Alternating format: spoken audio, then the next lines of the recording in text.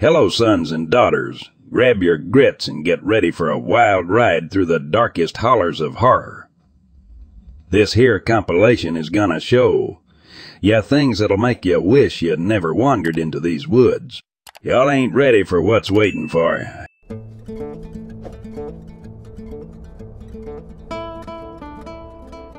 I had hiked in 15 miles to an alpine wilderness and just laid down for the night when a youngish guy in shorts and no bag pops out and asks me if I have water.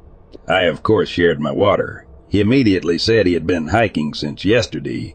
Apparently, him and his friend went way back and off trail, skirting some cliffs along the way. Then he just says half jokingly, Yeah, his brains are everywhere. I laughed half acidly, but he was sending off a really deadly vibe, not dangerous, just stone cold shock. I asked him to clarify that last part and offered him food and a cigarette. I also ordered him to sit down. He didn't want to because he would lose his legs if he sat now, but I explained he needed to sit a while. Long story short, his friend slipped and fell, and when he hit, his head popped and then his body got wedged in a crevice. The guy I was talking to had spent all the previous day hiking around the cliff to find his friend, then had to hike out of the valley up the ridge and down again, all on talus slope off trail. He was absolutely shredded, skinned, tore up. He was begging me to come with him and help me get his friend out of the hill. That's the part that really stuck with me. He got up and was about three feet into the bush when I grabbed him gently and said, Hey, I got a phone. We'll see if emergency service works. Somehow it did, and I have zero idea how, technically or otherwise. We were standing in a glacial cratered alpine lake 15 miles from the trailhead. I got rescue up there, and man, I was super impressed with their response. Within a few hours, the first group of volunteers were passing my camp. These guys all looked like supermen, and they were. All night afterwards, a constant stream of rescue volunteers. I stayed camp and made a comfy spot for them to rest on the way down. They had to wait up there in whiteout conditions for six nights, but rather than leave, they kept a constant vigil over the hiker's dead body. When the weather broke, a chopper flew in and took them all out. I've never been so deeply moved and impressed with that kind of selflessness in something we regard as a hobby, a sport, words that take away the very dangerous nature of it. Read all these stories, and it seems most are deaths by slip and fall. Happens too easy. Don't take the chance with your life.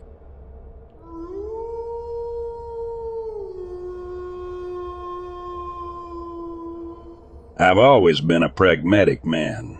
I didn't believe in tales spun around campfires or the whispers of shadows that live in the corners of one's eyes. I was a straightforward guy, a military man who enjoyed a good beer and didn't bother much with the supernatural.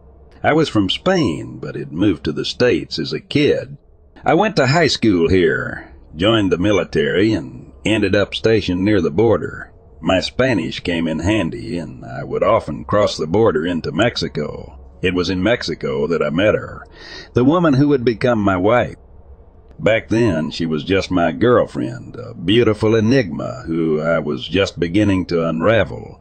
Her father was an enigmatic man himself, a drafting teacher at a local college and a firm believer in the paranormal.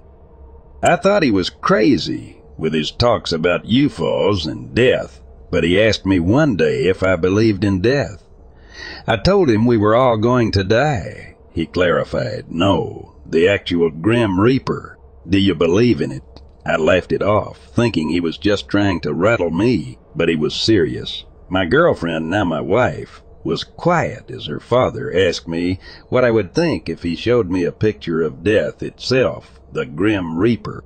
I didn't know what to make of it. My girlfriend just smiled at me, or her mother chimed in from the kitchen, and I was sitting there in a foreign country with people I barely knew, thinking I was caught in some bizarre horror film. He offered to show me the picture, and despite my growing apprehension, I agreed. He returned with pictures, postcard, sized and flipped over. He began to explain how these pictures came into his possession. A friend of his who owned a camera shop had called him urgently one day. A man had brought in a picture of his brother on his deathbed taken in the 40s or 50s. He wanted the picture restored, and when the picture was blown up during the restoration process, the Grim Reaper was visible at the foot of the bed. My heart pounded in my chest as he finally flipped the pictures over. What I saw was just as he described. The man lying on the bed, the flowers by his side, and there at the foot of his bed was the figure. A dark robe with no connection to the ground, skeletal fingers clutching a stick, a skull peeking out from beneath a hood, and the stick topped with a sickle. I felt a chill run down my spine. My blood turned to ice, and I had to look away. I couldn't sleep for days after that. I was stationed in a barracks on a base, and every time I closed my eyes, I saw the picture. My friends noticed my unrest, and when I told them the story, they didn't believe me. I even invited some of them over to Mexico to see the picture, and they were as shaken as I was. To this day, I can't forget that picture, and I haven't seen it since. The Grim Reaper was real to me in that moment, as real as the picture that I held in my hands. I had been a skeptic, but that experience shook me to my core. It was a window into a world that I'd chosen to ignore, a world that was as real as the one I lived in. It was a chilling reminder of our mortality, and it was a memory that would haunt me for the rest of my life.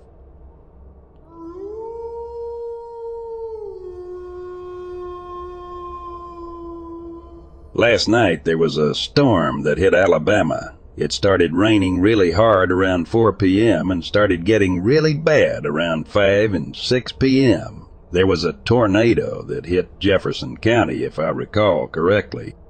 So before all that, at around 2.30 p.m., I went outside to feed the dogs when I got a text message from my sister. Hey, my battery died again. I'm at the water plant. My sister's car battery sucks. There's a water plant not far from here so she pulled over. I got there, boosted her battery, and she went home. I wanted to go to the store, get some chips. Now my road is extremely backwoods. When you're on my road, it's like driving in a forest. I got some chips and headed back home, and by this time it's 3.15. It's starting to get cloudy, dark, and some rain. At 3.30, I was finally almost home just going through all these crazy turns. It's pretty common to see a deer or two pop up, so I was driving around 25 miles per hour around this curve. When I saw this thing, it moved ran like a monkey, was naked like a person, blue pale skin, long limbs, short body, a small skull, not too small, just small enough it didn't look like it belonged. If if we're to stand, I would believe it to be about six foot tall, maybe a little shorter. I slammed on my brakes, but by the time I came to a stop, it had already ran into the woods. It didn't look at me, it just ran. Got home, told my sister. She thinks I'm pulling a joke on her. I'm just like Ife last night, and today I'm still not sure what the hell I saw. I like to hunt. I got guns, but I'm not brave enough to find out what it is. Does anyone have any idea what that was? This was in North Alabama. Is anyone from around here that's seen it?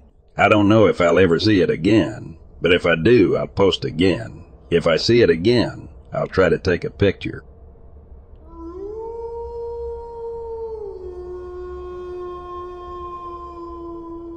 In late September 2002, I was camping by myself near Williamson River Campground. The area where I camp is one of many traditional campsites used by members of the Klamath tribes along the river. On my way in, I drove through the nearby campgrounds to see if any were occupied. As they were not, I continued on to my camp, confident that I would not be disturbed for at least one night. After setting camp, I caught my dinner, ate and settled in for a relaxing evening with my fire.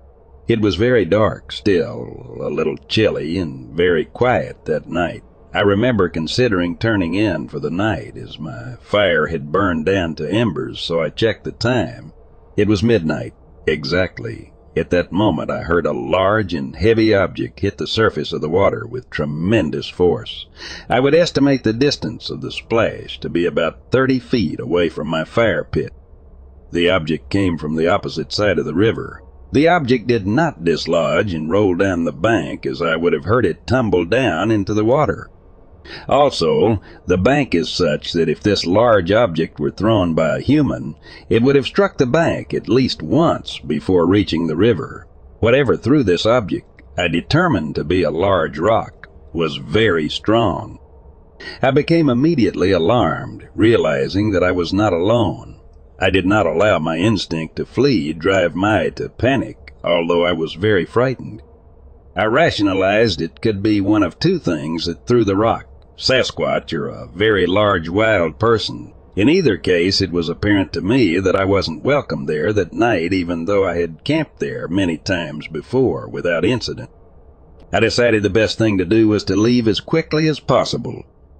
Before moving from my seat, I reached for my sidearm and fired a round into the air to let whatever it was know that I was armed and scared.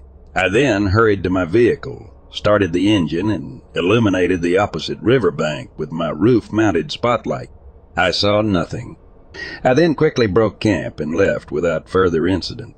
I did retrieve the object in question a couple of weeks ago. It is a large volcanic rock of awkward shape and weighs in at 34 pounds. It was exactly where I remember hearing the splash and is the only rock of that size and shape in that section of the river.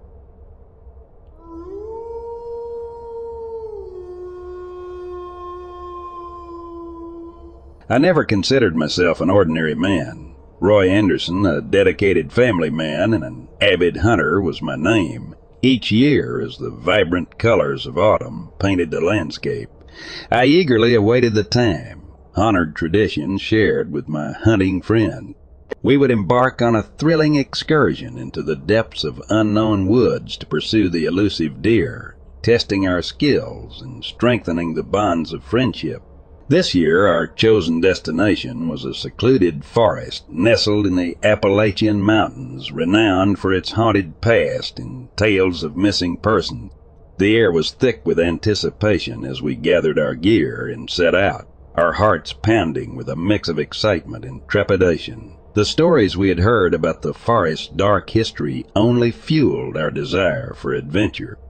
As we delved deeper into the forest, surrounded by towering trees and enveloped in an eerie silence, a sense of unease began to seep into our souls. Unbeknownst to us, we had inadvertently strayed into uncharted territory, a place shrouded in mystery and inhabited by an unknown force. It started subtly, with whispers on the wind and fleeting shadows that danced at the edge of our vision. But soon the malevolence lurking in the depths of the woods made its presence known. The forest seemed to awaken, vibrating with an otherworldly energy. Fear coursed through our veins as we realized we had become prey in this dark game.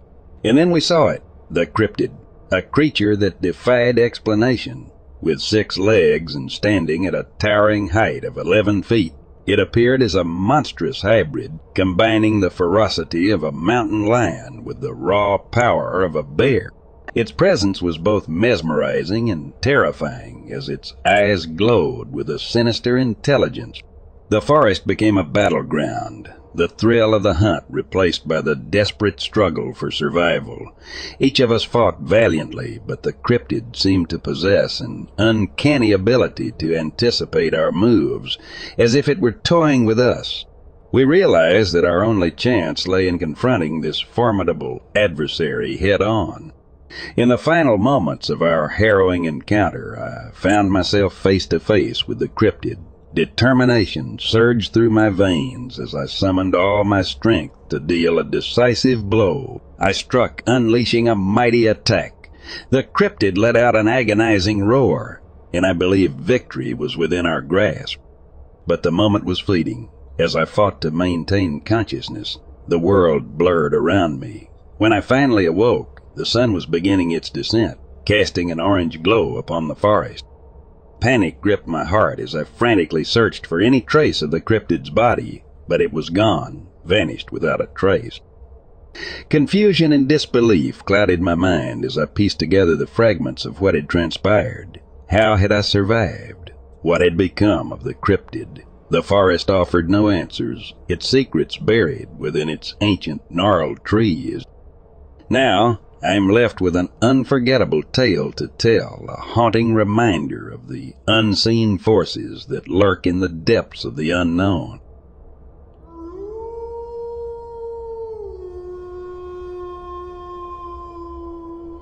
A buddy and myself rode our bikes up the road to check out the old helicopter pad which we had been told of by our neighbors. As we got the top, we heard hard stomping, almost like there was the different animals up there with us. About ten feet from us, we heard a loud crack, and then a madrone tree started to shake violently. The it stopped. Then again, the tree shook.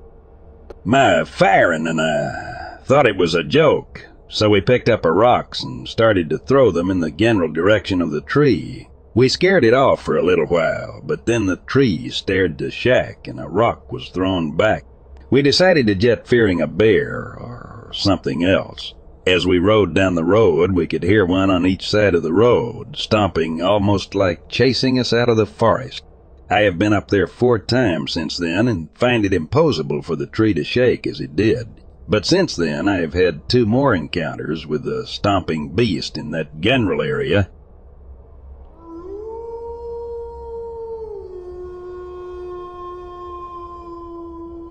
Last day of a week, long backpacking trip in the Canadian Rockies. I was about 15 minutes ahead of Dan when I came upon a literally steaming pile of grizzly scat in the middle of the trail loaded with berries. I made sure that my bear spray was handy and walked on. Maybe 30, 40 yards down, I was in some brush when I heard a rustling to my right. I stopped, grabbed the bear spray and my camera. Then a grizzly, eight, ten feet tall, stood up on its hind legs less than ten feet from me. But just as quickly it dropped down and ran off like a quarter horse and disappeared. I got a bad photo and a racing heart.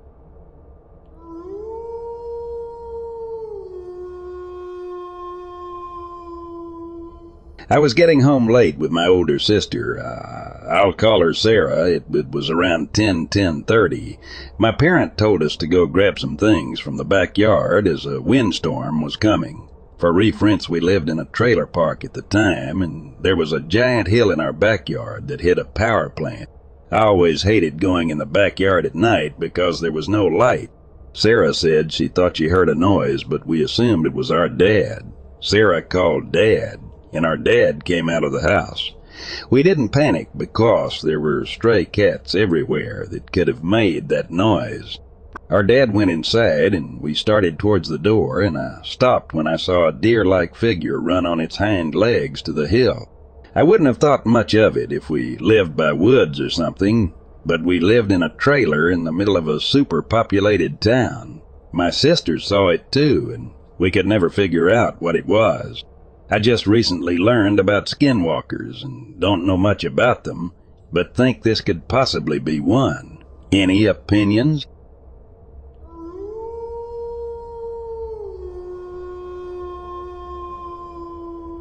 I was staying at my uncle's house in India in the country for the summer. He was gone for the summer, so I was house sitting. A lot of weird shit happened over those couple months, and I have no explanation. Weirdest of them all was the one I'm about to tell you. It was monsoon season, so the power was going out a lot. He had a room situated in the back of the house on top of a garage I was staying in. It was not connected to the house, so I didn't have an inverter. So on to the story. One night, the heavy wind came around Ninthman and the power went with it. So I decided to go into the house and go to the room that had power. No ache, but a fan is better than nothing. At the time, I had a set of DVDs of The Sopranos and was watching it on my laptop. This shit still gives me the freaks. But I went into house, locked the door behind me, went into the room, turned on the fan, and then the light. The light turned on and then flickers and burns out. I didn't give anything to that because I had this huge flashlight with me anyways. So I go to the bed and turn on The Sopranos. The Sopranos is a really good show, so my mind was completely focused on that. Nothing could bother me, but then out of nowhere, I heard something I have no answer for. Somebody or something was in the house. Sounded like the smacking of slippers on your feet while somebody walks around. It happened right across the room's door, too, so it scared the shit out of me because I thought somebody might gotten inside. But I remember locking the doors, so I was confused. Took my flashlight and decided to go with the sword in the room and yelled, saying, Whomever is to there, come out. You got one chance.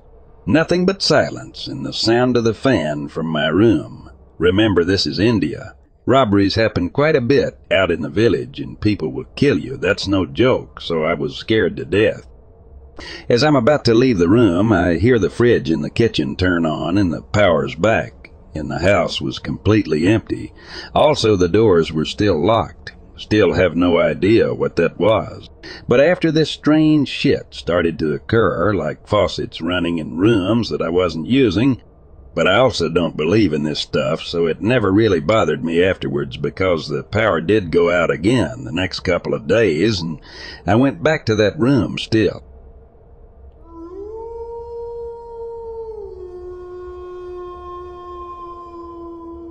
I am an avid outdoorsman and I have a few stories for you folks that are from my past experiences. I'm going to start with one from a few years ago. I was on a hunting trip with my dad on some land I owned in a very desolate part of a neighboring county, perfect right. Well, here is what happened. We get to the access road, albeit was more of a logging trail from days gone by, but my 4x4 could handle it. So we get to the stopping point of the access and park the truck. I'm getting ready to get out when Dad decides we need to stay at the truck for a bit. He said something along the lines of not having a flashlight, when in reality he wanted a bit more sleep. Fine, whatever, right. After about 30 minutes, I couldn't wait any more, so I woke him up and we proceeded to get ready. Dad had just put his gun over his shoulder when we heard a blood-curdling scream off in the distance that put us both on edge. I was ready to leave, but Dad talked me into going on our way. He assumed it was just a bobcat or a fox. I was nervous, but I was also carrying a 36 with 220 grain loads and a 45, so I figured I could handle myself if need be, plus Dad was armed as well. So we hit out and we made about a 400 yard hike when we saw it.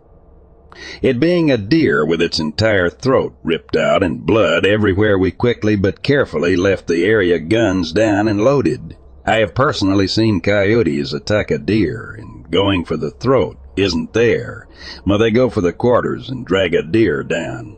The only thing we can come up with is a big cat of some sort, although mountain lions no longer live in the area due to overhunting, or at least that's what we have always understood to be true. I don't believe in Bigfoot or the like, but moments like that really make you wonder.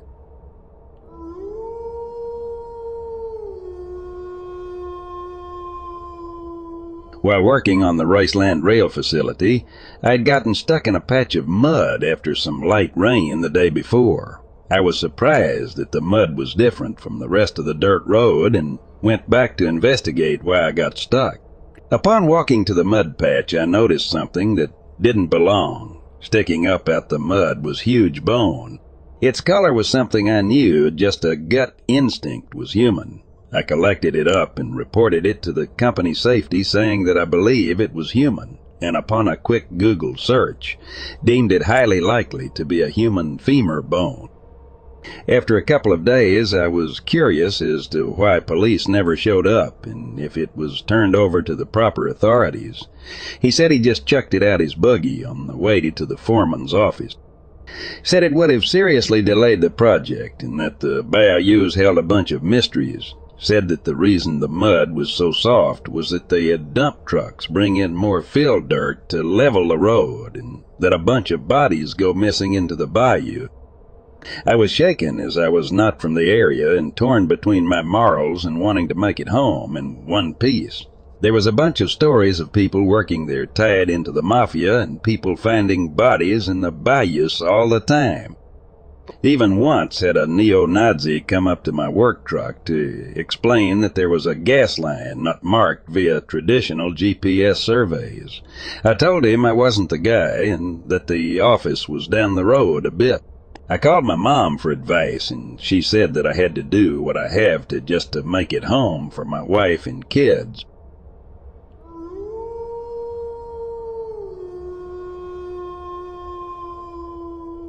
My friend Mel and I were up panning for gold. He was on the left side of the road, and I decided to walk up a small stream on the right side to see if I could find anything. I was about 75 yards and standing on a log that had crossed the stream taking a rest when I smelled a musty smell and the hair stood up on the back of my neck. I turned around to see something take one step in the middle of a eight feet stream and to the other side. It was six, seven feet tall, brown and black, longer arms, with slight hump back. At that time, I unholstered my sidearm and put a round in the chamber. I just stood there for a couple of minutes trying to see or hay or anything to no avail. I slowly made my way back to the road through the thick brush the same way I'd come in and told Mel what I had seen. He didn't know what to think. I have been in the mountains my whole life and not seen anything remotely close to what I'd seen that day, although I've smelled the same musty smell on other occasions while out in the bush.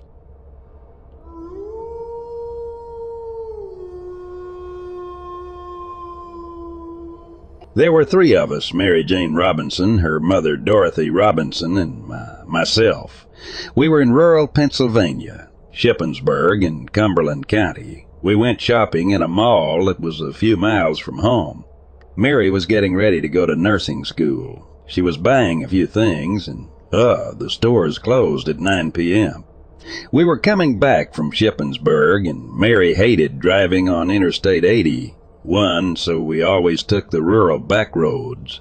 It was a perfectly clear night, a million stars visible in some moonlight and it was just, you know, a lovely drive. Then, out of nowhere, there were these lights that came up behind us, and Mary thought that somebody wanted to pass. So she put her arm out and she said, Pass, pass. And she slowed down and they didn't pass, but they were close and it was annoying her. So she stopped the car and she said, I want to find out what is going on. And her mother said, Mary, don't get out of this car. Just stop. Let them go. Ignore them. And she said, No. Maybe something's wrong. Ever the caregiver, Nurse Mary. I was in the back seat.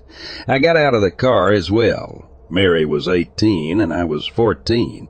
So I got out of the car also, and I was on the passenger side of the car. Mary was on the driver's side of the car.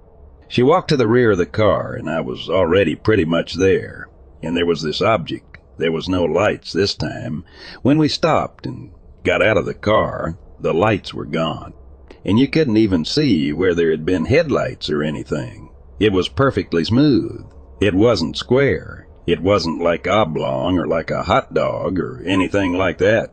It sort of had a rise in the center from the top as though it rose and the bottom appeared to be flat and the sides were curved but very smooth. There was not a sound at all, Mr. Bell. Not an engine, not a hum, not a nothing. It was absolutely quiet. Art asks if she was frightened. No, because we didn't feel threatened. I mean, I actually touched it. I was so fascinated with it because I didn't know what it was made of. In later years, I came to realize that it was like titanium. It was perfectly black, and the moonlight made it look shiny. Aya starts rushing her as always, asking if they took off or whatever. No, we did not take off. Mary starts asking, Hello, do you want to talk to us? I'm not afraid. And I said, I'm not afraid either. I said, Would you like to speak to us? Would you like to ask us questions?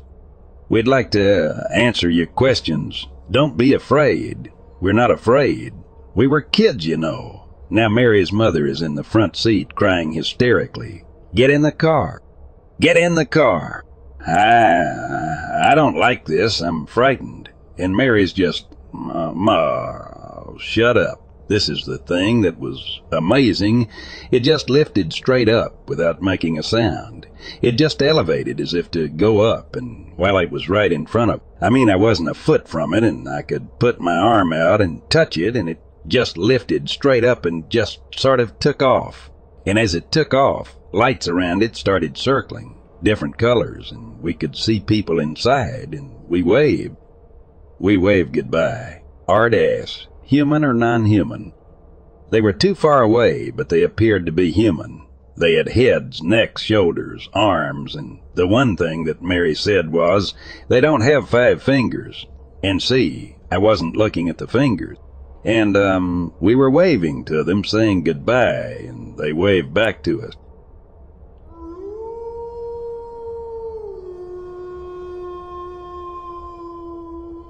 I was archery hunting here in Virginia at our hunt club, set up on top of a ridge with a lot of buck sign about 20 feet off the ground. I hear something coming up the ridge from a swampy area. Here comes a mama black bear and three cubs. So was a big mature sow. She walks right to the base of the tree I'm sitting in and stops dead and starts looking around. Obviously caught a whiff of where I walked in. So she stops, and the cubs, of course, are oblivious to what is going on. The cubs start playing on the tree. I'm in, and I'm, I'm thinking one of them is going to climb the tree. Not good. Now I'm starting to think I'm in deep doo. If a cub climbs the tree and starts bawling or something, so one of the little dudes gets on its hind legs, paws on the tree. Now I'm thinking I may have to take the saw, even though I don't want to. Bears are in season, but still, just about that time feel a little breeze, which lets the sow catch a whiff of me. Hair stands up on her back. She wheels around and woofs, heading back the way she came, with the startled cubs tagging behind her.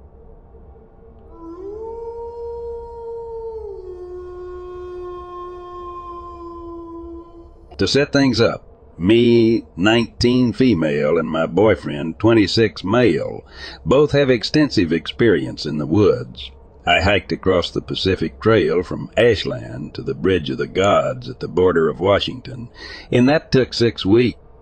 I've always enjoyed the outdoors, and I've never felt unsafe even when getting close to wildlife such as bears my boyfriend grew up in a rural area surrounded by farmland, so he's also comfortable with the outdoors. We decided to go camping at a lake which is about 45 minutes uh, away from Yakima, Washington, and this region of Washington has an abundance of Native American land, history, and native people, of course.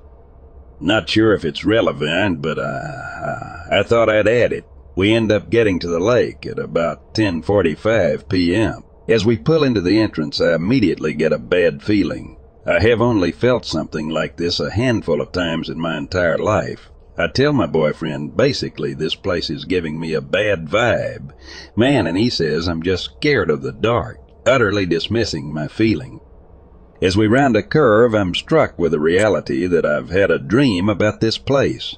His car, a Crown Victoria, the specific shape of the road, the light from his headlights. It wasn't deja vu. It was straight out of a dream I had when I was maybe 12 years old. I tell my boyfriend I've dreamt about this place, everything about it. I go into more detail than that, but you get the idea. In my dream, there was a pale, creepy face with reflective eyes staring at me through the trees, and I just remember running as fast as I can from it down the road. Again, he considers what I'm saying, but ultimately disregards it. We pull up to the campsite and set up pretty fast. Maybe 15 minutes and we've got our tent up, a fire going, and my boyfriend has a cigar lit since he's terribly addicted to the nasty things.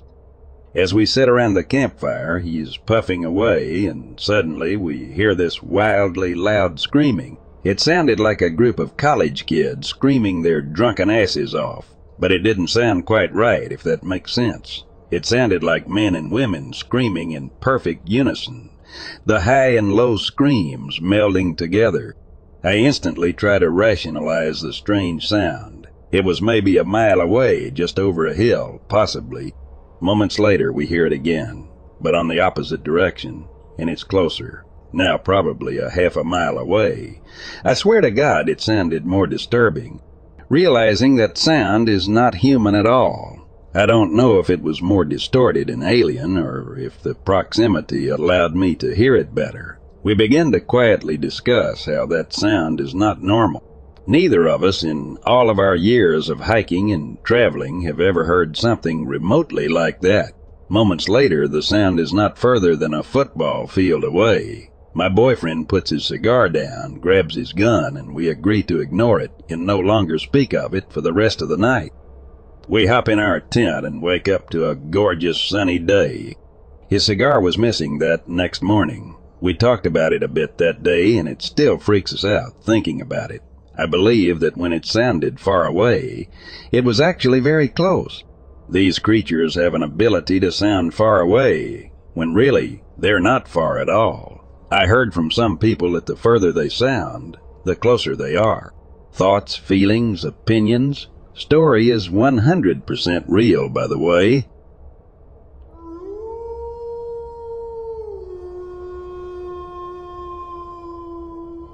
My friends and I like to go camping when there's a lot of snow out because it's just different and really isn't too bad, as long as you know how to pack for snow and properly layer. Another reason we really like to go then is because there's so few people and we like to shoot guns and the less people there, the less complications that go with that. With that, ill explain what happened. Myself and two of my friends, we will just refer to them as Chris and Dean, went out to find a spot to park our vehicles and hike out a bit in the snow to find a spot to camp up on a mountain that was just past the southern part of Rimrock Lake, past the airport a bit.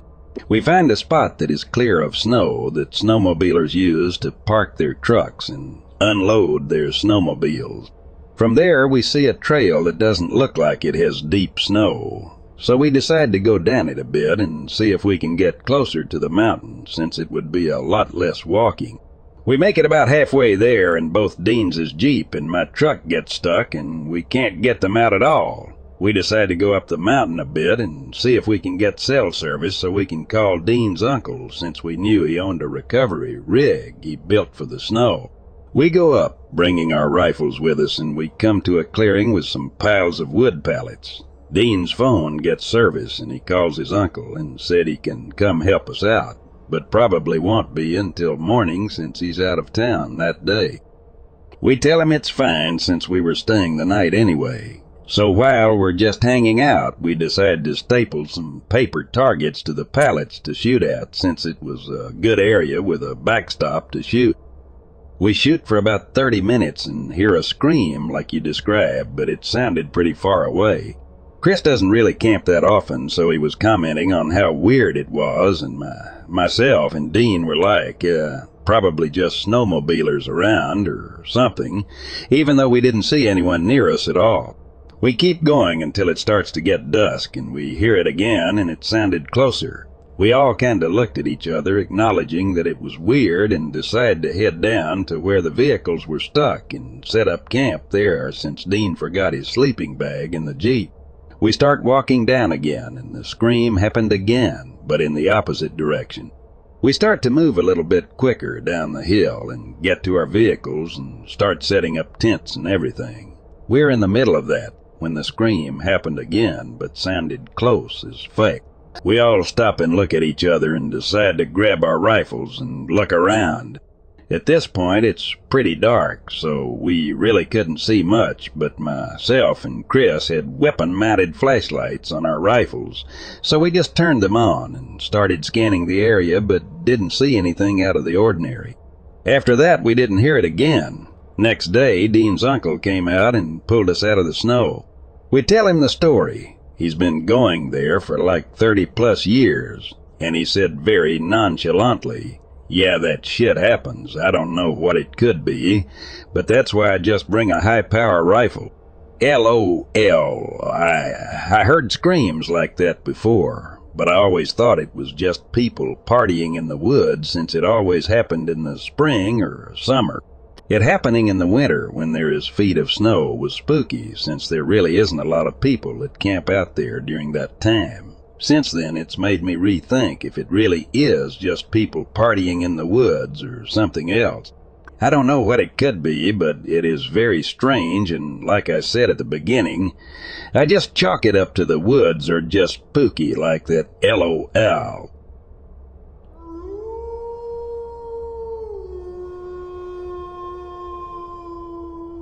I live in a very small town in Kansas, last night I woke up to every dog in the town barking. Then all of a sudden something started making a noise like I've never heard before, and all the dogs got quiet.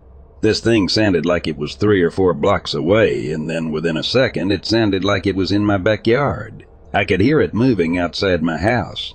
Then it would sound like it was blocks away again. And it just kept repeating the howl it was making. It kept doing this for about 15 minutes.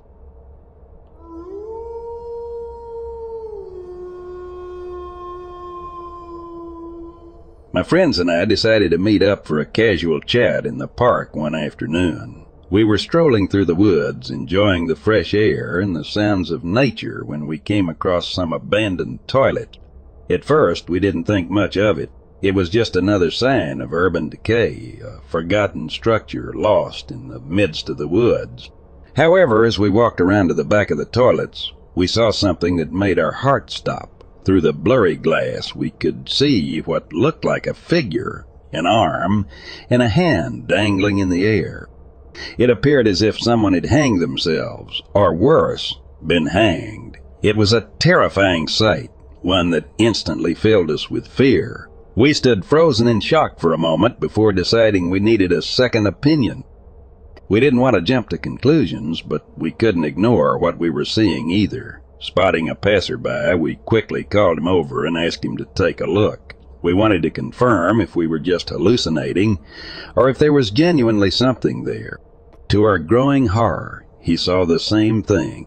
His daughter, who had been trailing behind him, also saw the same chilling sight.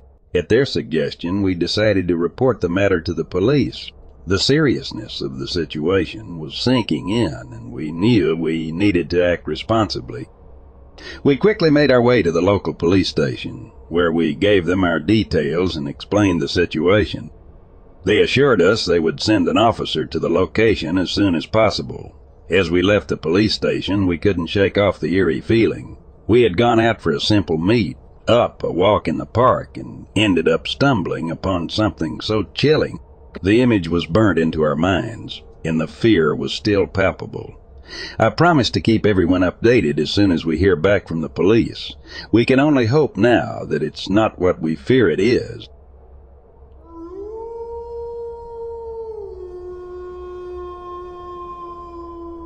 It was a typically quiet morning when I got a call from Jeannie, a resident who lived about 30 miles up Deuel Boulevard. I've known Jeannie for years. We grew up together in the same small town, and she's always been the type to keep to herself. So when I heard her voice trembling over the phone, I knew something was wrong. Something's been here in my driveway, she stammered, her voice shaky. A huge footprint in the mud. My brows furrowed in confusion. A footprint, Jeannie? I echoed, trying to comprehend what she was saying. Yes, it's it's massive. I ain't seen anything like it before. I assured her I would be there soon and quickly set off in my truck, driving the familiar route up DL Boulevard. As I turned up Boundary Road, my mind raced with possibilities. Could it be a bear? But Jeannie's house was a fair distance from the forest's edge. Perhaps some pranksters trying to give her a scare. Pulling up the driveway, I saw Jeannie standing there, her face pale and her eyes wide with fear. She led me to the footprint, and my heart skipped a beat. There, embedded in the mud, was an enormous footprint. It was much larger than any human foot, and it had a peculiar shape that was distinctly non-human. The toes were long and had sharp, claw-like protrusions at the tips. The heel was broader than any creature's foot I'd seen, I knelt down beside it, my mind racing. I had been working as a park ranger for over ten years, and I had seen all sorts of animal tracks. But this, this was different. This was something I had never seen before. As I traced my fingers over the imprint, I felt a shiver run down my spine. Whatever had left this footprint was huge and potentially dangerous. It was my duty to find out what it was and ensure the safety of the residents. In the following days, I led a team of experts to examine the footprint. We cast a plaster mold of it, hoping to identify the creature that had wandered so close to human habitation. We searched the nearby woods, looking for any signs of this unknown creature, but all we found were more questions. The footprint became a local mystery. Some said it was a hoax. Others believed it was a creature from local legends. But for me, it was a reminder of the unknown that still exists in our world, a mystery that I am yet to solve. Every day as I patrol the woods, I keep my eyes open, wondering if I'll come across another such footprint, hoping that one day I'll come face to face with the creature that left it behind.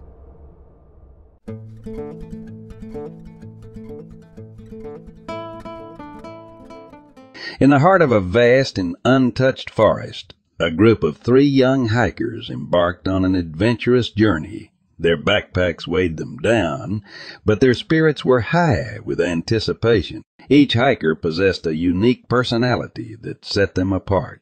There was Mark, the outgoing and fearless leader of the group. His rugged appearance matched his adventurous nature, and he wore a determined look on his face as he navigated through the dense foliage. By his side was Sarah, a nature enthusiast with a gentle spirit. Her bright eyes sparkled with curiosity as she soaked in the beauty of the surroundings. Finally, there was Alex, the mischievous and carefree joker of the group. Always up for a thrill, he added a light-hearted touch to their excursions. As they trekked deeper into the forest, fate led them to an unexpected discovery a long forgotten Cherokee Native American burial ground. The air hung heavy with a sense of sacredness, and whispers of warning seemed to echo through the trees. Local tribesmen, led by an elder known as Sitting Owl, had long guarded this resting place, cautioning outsiders to show respect and avoid disturbing the spirits that dwelled there. Ignorant of the sacredness and disregardful of the warnings, the hikers succumbed to the lure of mischief. In their inebriated state, they thoughtlessly disrupted the tranquility of the burial ground, defiling it with their disrespectful actions. Night fell, casting an eerie veil over the forest. The hikers, seeking refuge from the darkness, stumbled upon an abandoned Native American cabin hidden amidst the trees. Unbeknownst to them, the cabin had its own dark history, intertwined with the curse of the disturbed burial ground. As the moonlight filtered through the cracks in the cabin's wooden walls, the atmosphere grew increasingly sinister. Unseen forces stirred, awakened by the desecration of the sacred ground. The hiker's presence had unleashed an ancient curse that sought to exact its vengeance upon those who trespassed. One by one, the hikers began to succumb to strange and inexplicable afflictions. Mark, the fearless leader, was struck by a sudden and debilitating stroke that left him paralyzed and helpless. Sarah, the nature enthusiast, convulsed violently, vomiting a black viscous substance before succumbing to a suffocating darkness.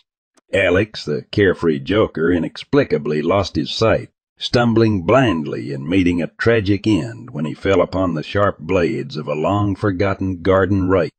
The next morning, Sitting Owl, with a mix of sorrow and anger, arrived at the scene. His eyes surveyed the tragic aftermath, and he exhaled a heavy sigh. Strangers should stay away from our burial grounds. He uttered a stern warning laced with sadness. The price of their disrespect had been paid in blood, and the spirits of the ancient Cherokee ancestors had taken their vengeance.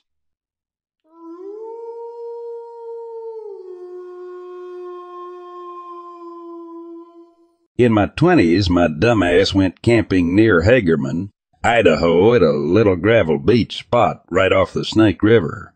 It was myself, my fiancé, and his best friend. They stayed up a little too late Friday night, and I woke up a little too early Saturday morning. Bored, I hiked up through some large boulders on the side of a rocky cliff that was about 300 feet so I could watch the sunrise.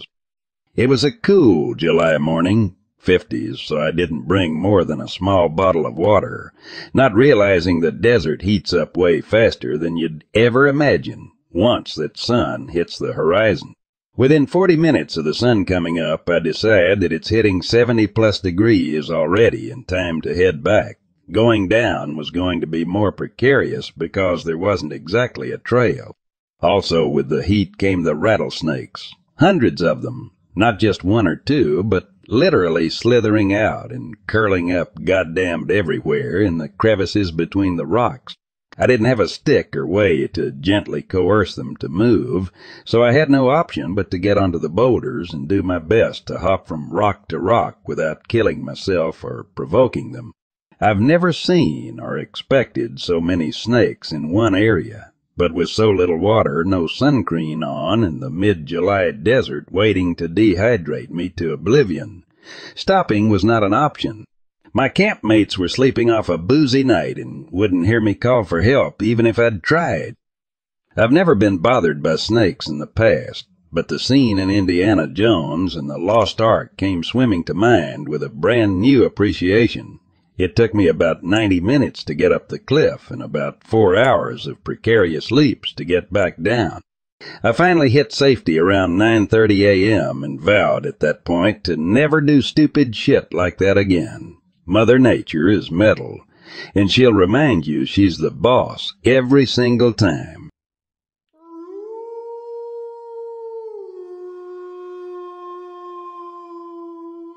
Okay, so in 2006, when I first started working at Walmart at 20, I used to walk several miles home every day down a long highway. Every now and then I used to get picked up by people who were very nice and saw I was suffering out in the heat in the middle of summer with my shirt off and just a wife beater on. Well, one day a guy picks me up and seems cool at first, but then he started telling me how he is a modeling agent and was looking for talent. He asked if that was something I was interested in, and I wasn't sure, but was wondering where this was going. He started asking me if I have body hair on my body, which I answered until he started asking if I had any hair on my ass and other private places.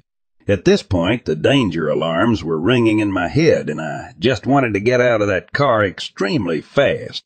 I asked him to drop me off at some random neighborhood, that was about 20 minutes from where I live, and I just walked into the staircase and waited about 15 minutes to make sure he wasn't around and couldn't follow me home.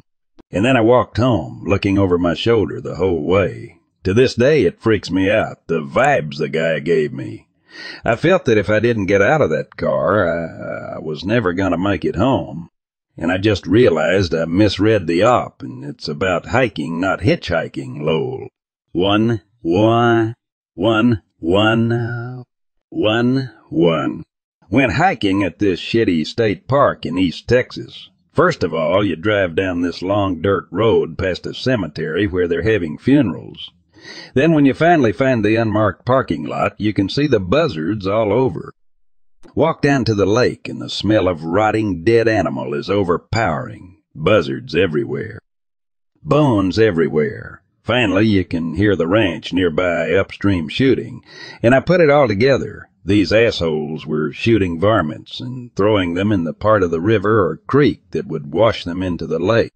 The carcasses would eventually wash on shore and rot or be eaten by buzzards. Buzzard shit, rotting meat, and bones everywhere.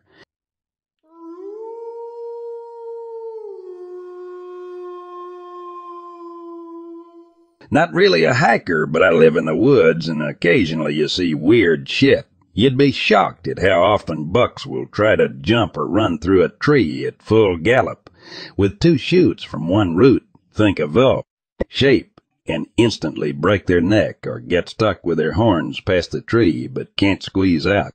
They either die immediately and are propped up by the tree or slowly starve in that position. The bottom line is it's not exactly rare to stumble across what looks like a rotting deer standing between two trees. especially along paths, uh, game trails where predators will chase them. Another fun, creepy thing with deer, that's probably related to the above, is chronic wasting disease, mad cow, or UCJD for deer. I swear it literally turns deer into walking zombies with giant wounds showing internal organs, rotting necrotic tissue, growths hanging off them, milky eyes, etc. Uh, in other words, the full animal zombie experience. It's incredibly infectious without predators to cull them, so it's affecting whole herds of deer. If you decide to Google it, do it on an empty stomach. Seriously. It's that nasty. I've heard stories and seen videos of bucks literally bashing their heads to pulp on rocks until they're dead. It rots their brain and weakens them so much they just kind of go on autopilot and do all kinds of context inappropriate deer things.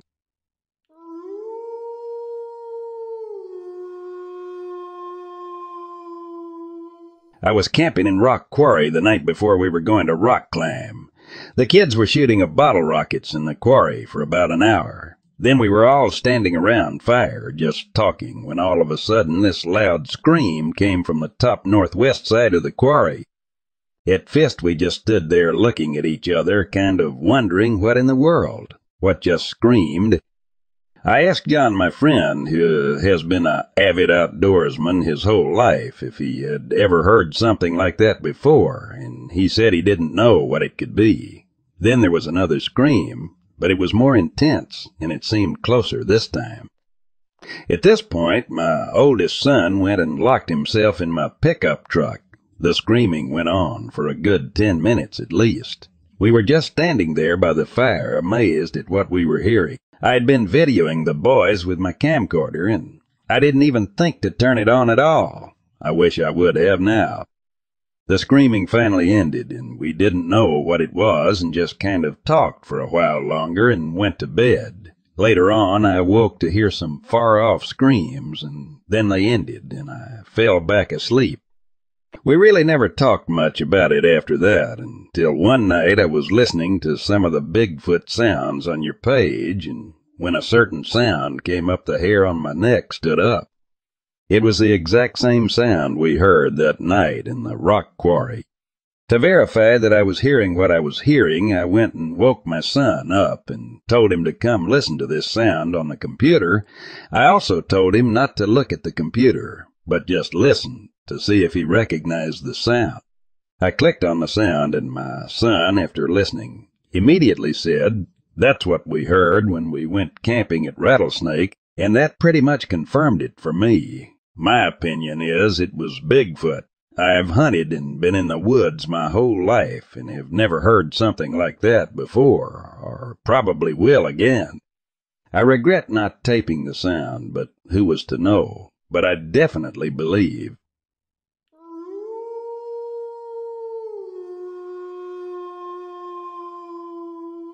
This lasted three nights in a row. The first night we were awakened by a very powerful scream. The only way I can describe it was it was like the sound of tires on the road coming to a screeching halt.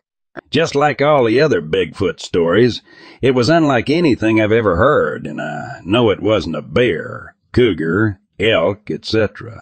It was very loud and lengthy, and what caught my attention was it wasn't moving through the woods as a normal North American animal would. It was staying in one spot.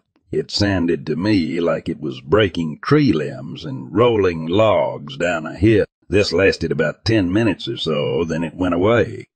This happened for the next two nights about the same time, but on days two and three it kept moving farther and farther away Needless to say, I was terrified, but also interested and curious. I was too scared to get out of my tent, so I just lied there and listened and hoped it wouldn't bother us.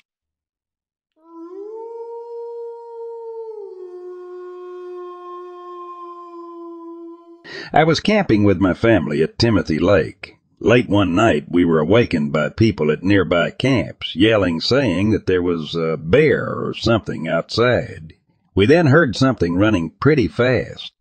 I can remember feeling the ground shake when its feet hit the ground. It ran not too far from our tent into the woods, and it sounded like it might have ran into a tree because we heard a loud bang and the sound of a tree cracking and falling. We aren't sure what it was, though.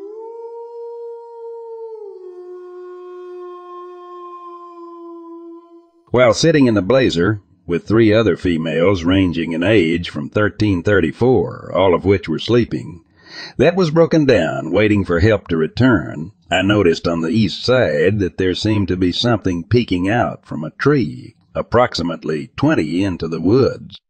I was thinking that it could have been a trick of lighting, and the wind moving some branches, as the only time I seemed to be seeing movement was when I was looking straight ahead to the north the direction the blazer was headed, and this was out of the corner of my right eye to the east, and every time I would move my head to the right it would stop. I played this game for a while, but decided that if I was really seeing something, that I was going to have to turn my head to the right. I dozed off for a while, and when I woke I was still looking off to the right, east, and there was something peeking around a tree that was closer, more like fifteen feet or so, so I just kept my eyes on the object and was able to make out that it was tall, hairy, light coloring in the face except for the eye and mouth area. It didn't move, but just like a shifting of feet once in a while. It didn't advance any more, but seemed intent on watching what was going on or in seeing just what it was that it was looking at. I couldn't smell anything as the wind was blowing to the east. I didn't awake anyone because I didn't want to scare them. I didn't feel threatened. But I wasn't going to go and check it out either. At 3.30 help arrived, and so I concentrated on what needed to be done to get the broken down rig off the hill. Also noticed the footsteps that were heard were further down the hill, closer to the second split in the logging road.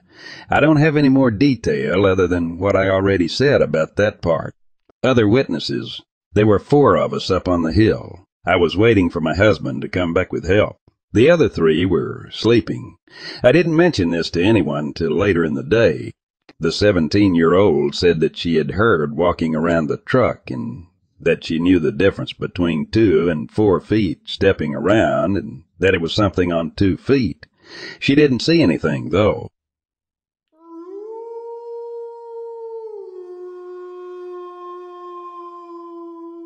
In June of 1970, I was riding my motorcycle to Jenolan Caves.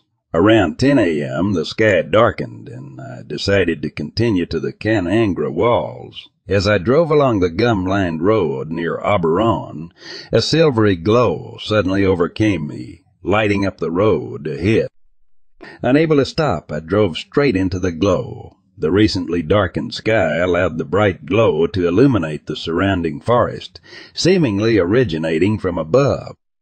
As I entered the glow, I was lifted quickly towards a large circular object. Once inside, the floor closed beneath me, leaving me standing in a glowing light blue room. The room was hexagonal and flat, about fifty feet across and twelve feet high.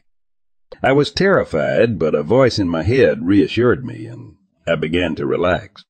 A wall section slid open, and three alien-looking beings, about six feet tall, with grayish-blue skin, approached me. They had teeth, noses, and sex organs similar to humans, but their eyes were like a doe's. The beings led me into another room with strange equipment and a large metallic oblong block which had a body-shaped groove in it. After examining me, they asked me to lie in the groove where I felt magnetized and glued to the metal. Eventually I passed out. When I regained consciousness, I was surrounded by multiple blue beings. Two of them held my clothes, shoes, and belongings. I dressed myself as they watched, and they led me through a brightly lit passageway to a large tube-shaped walkway which led to a colossal building. Inside I saw countless male and female beings communicating telepathically. I was led to a green dome-shaped building where I would temporarily reside. It had odd furniture, a rubbery bed, and a toilet made of crystal-like metal. The two beings showed me various fruits and vegetables to eat and drinks in plastic jars and bottles. During my stay, I was flown in an oval-shaped hovercraft vehicle along a metallic road to a vast museum. like building, and later to a different world with narrow waterways and forests of tall trees. I saw a large ocean with drinkable water and various watercraft. My captors informed me that I'd been taken for study and that they had studied my memory and brain. Before I lost consciousness, I was told that the inhabitants of this planet were called Ultra, beings at the peak of evolution. And when I woke up, I would possess higher knowledge. When I came to, I was lying on the road beside my motorcycle, half an hour before my abduction. Confused, I got up, started my motorcycle, and went home. My family didn't believe my story, and eventually, after suffering a breakdown due to my experience, I left the country with them.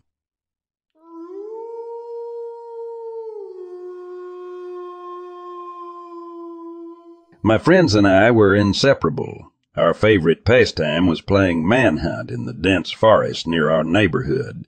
The thrill of chasing each other through the woods and the adrenaline rush of trying not to be caught kept us entertained for hours on end.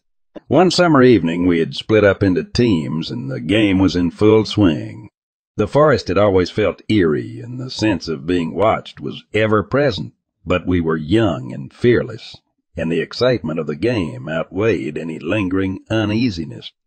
As darkness fell, we started to lose track of each other. My friend, let's call him Mike, had wandered deeper into the forest, drawn by what he believed were our voices calling out to him. The calls grew louder and more insistent, luring him further into the dense woods.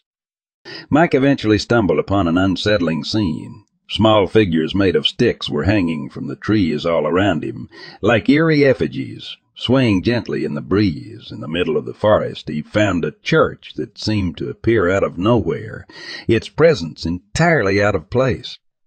The calls he had been following abruptly stopped, leaving him with a chilling silence. What Mike didn't know was that we had left the forest long before, concerned for his safety and unable to locate him. The voices he had heard were not ours, and he couldn't shake the feeling that something sinister had been trying to lure him deeper into the woods. Terrified, Mike raced back towards the edge of the forest, desperate to escape the haunting scene he had just witnessed. When he finally emerged, breathless and shaken, we were waiting for him.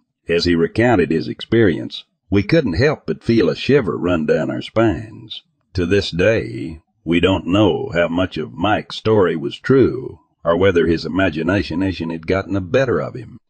But one thing was certain. The forest had always been a place where we felt uneasy. We had come across broken bottles, mysterious teepees, and signs of demonic activity, likely the work of mischievous teenagers with a can of spray paint. But after that night, we couldn't shake the feeling that something darker lurked within those woods. We never played manhunt in the forest again, and the memories of our carefree teenage years were forever tinged with the eerie echoes of that one fateful night.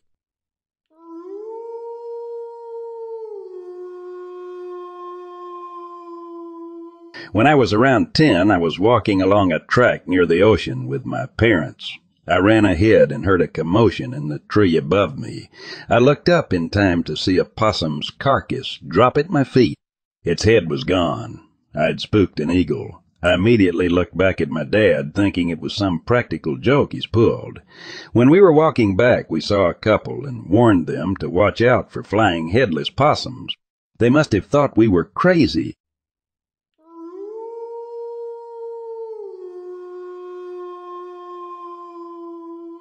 My day started like any other summer day, only this time I had the whole day to myself. It was August 7th, and I had decided to spend it in the beautiful town of Valsetz, Oregon, specifically on the South Fork of the Siletz River. I was just a mile west of the town, an area now closed due to fire danger. My plan was to enjoy a peaceful day panning for gold, something I've found to be incredibly calming and rewarding over the years.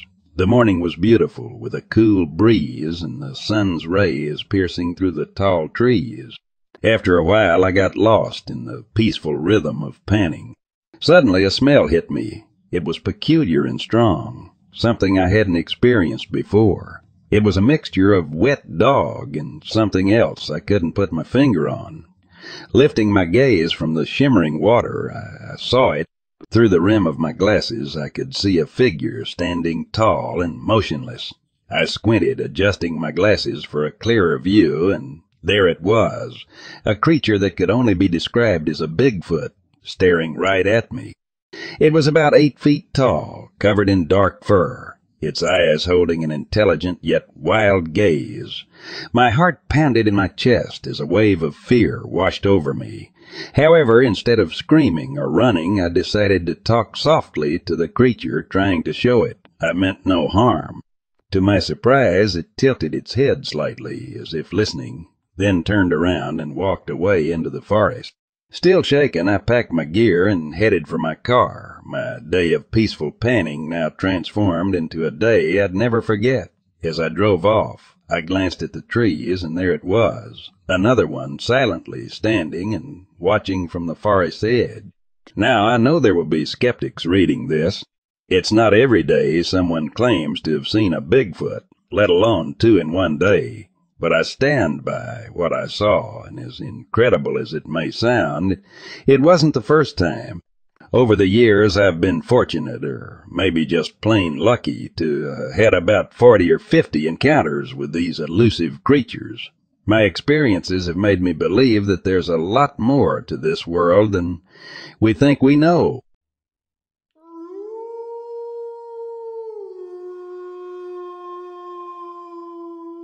I was backpacking with my boyfriend in the mountains in Colorado. The area was fairly popular, a big parking lot with a few trails that split off into different directions. We had passed through a big valley and were making our way up through steep woods with lots of switchbacks.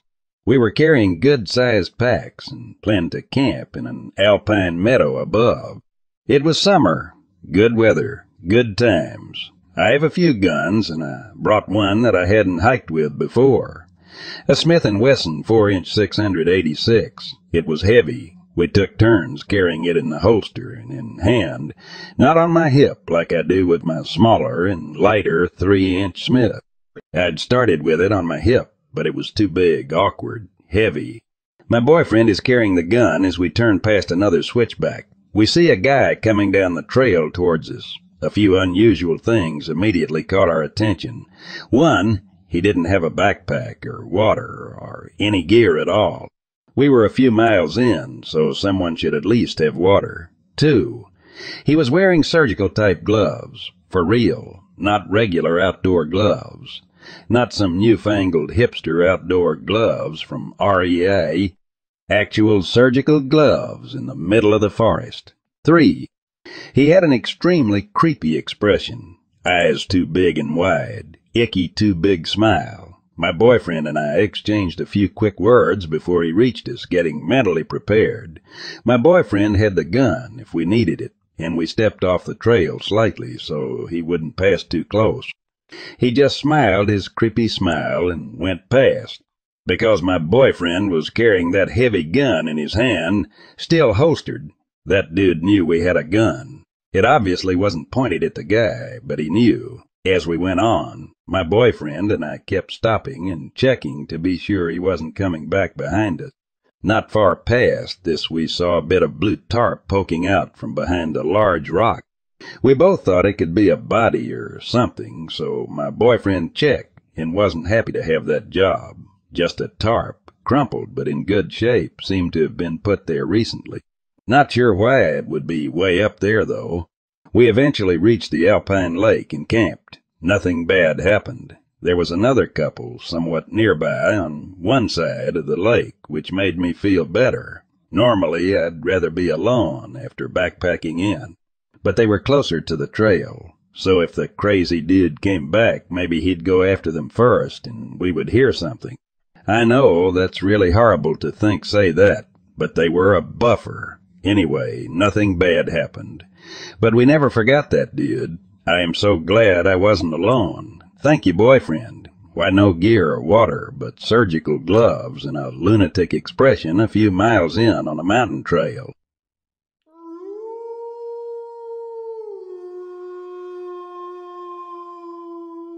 I had a pretty close encounter in September 1994, I believe, near Tollgate, Oregon, during elk bow season.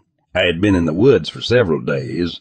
I was tracking a elk on the north side of USFS Road 64, Skyline, about opposite Jubilee Lake at about 1 or 2 p.m. I was down the Skookum Spring side of Dusty Ridge, about one quarter to half mile from Dusty Spring an abandoned campground and saw movement about 70 yards cross Lope and down at the edge of a clearing.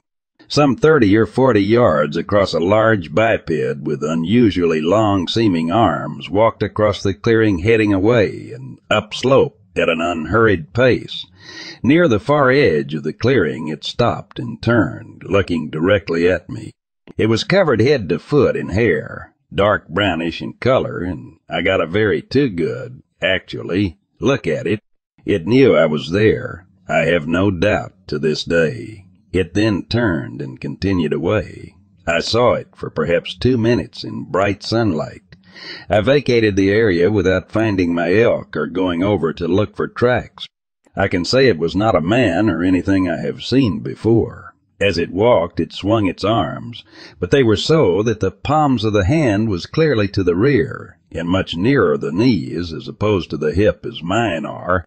The date time can be better established because when I got home and was telling my wife, she said that the previous weekend some guy had taken videos of Bigfoot at Hoodoo Springs, some 20 miles from where I was at, and they had been on the news. I have no pictures, but can certainly take someone to the spot without difficulty even now.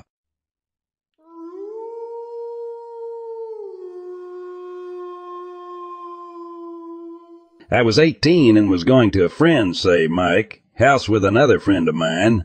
Let's call him Joe, on my bike motorcycle, to be clear. So we reached this friend's house, which was in first floor. We tried calling him out from the street. His moms came out and said he wasn't home. We started again from there to another spot, where we and a couple of other friends hang out. Just after we start, Joe tells me to go the same spot that I had in mind, and I tell him I had the same thoughts too. Now we reach the spot, and almost all of our friends are there, as expected. I had a tiny little chat, which barely lasted a minute, and then noticed that Joe wasn't behind me. I concluded myself that he was playing me and asked the guys where he was hiding. They had no idea what I was talking about. I thought of pranking them all back and decided to leave the place so that Joe would have to walk back home. A couple of hundred meters later, Joe walks towards me from a completely different direction. I was completely blank, cuz I'm the only one with a motorcycle and nobody else could drop him there from the spot. I asked him how he got there. Joe, I got down at the Mike's home. When you started, I was screaming for you to stop, but you just kept going. I was like, who was I talking to then, on the way to the spot?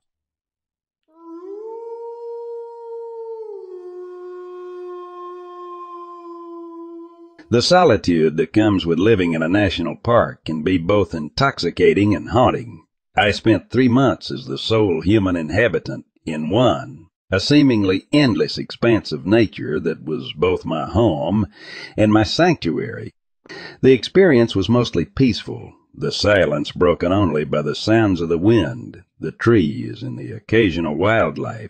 But there was something else that often punctuated the quiet music. It was a melody as soft and tinkling as a music box, or perhaps a distant ice cream truck on a hot summer day. The peculiar thing was, it always seemed to echo from somewhere above me, a melody floating on the breeze, an auditory illusion that was both fascinating and slightly unsettling. One day, driven by curiosity, I decided to track the source of the enigmatic music. I followed the dirt road that wound past my humble trailer, guided only by the elusive ethereal melody that continued to waft through the trees but as I ventured further, it was difficult to gauge if I was getting closer or if the source was just as elusive as before. My eyes were fixed on the treetops, straining to locate the origin of the strange sounds when my gaze was drawn downward. A snake lay stretched out in the path ahead. I stumbled backward in surprise, but the creature made no move. It took me a moment to understand why. The snake was dead. My heart pounded in my chest as I looked around and saw that the snake wasn't alone. Half a dozen dead copperheads lay strewn across the road, their lifeless bodies all aligned in the same direction. It was as if they had been journeying somewhere, only to be simultaneously struck down. Fear snaked its way up my spine, replacing my curiosity with a primal instinct to retreat. I couldn't bring myself to step over the ominous assembly of deceived serpents. Turning around, I rushed back to my trailer, intent on using my car to navigate past the eerie spectacle. But as I fumbled for my keys, the music abruptly ceased. The ensuing silence was almost deafening, filling the space the melody had previously occupied. The sudden stop seemed to echo the strange, unsettling event I had just witnessed. Despite my numerous walks afterward, the music never returned. The only reminders of that day were the silent woods and the memory of the bizarre serpentine gathering on the road. The experience became another secret shared between the park and me, an enigma that underscored the underlying mystery and magic of nature.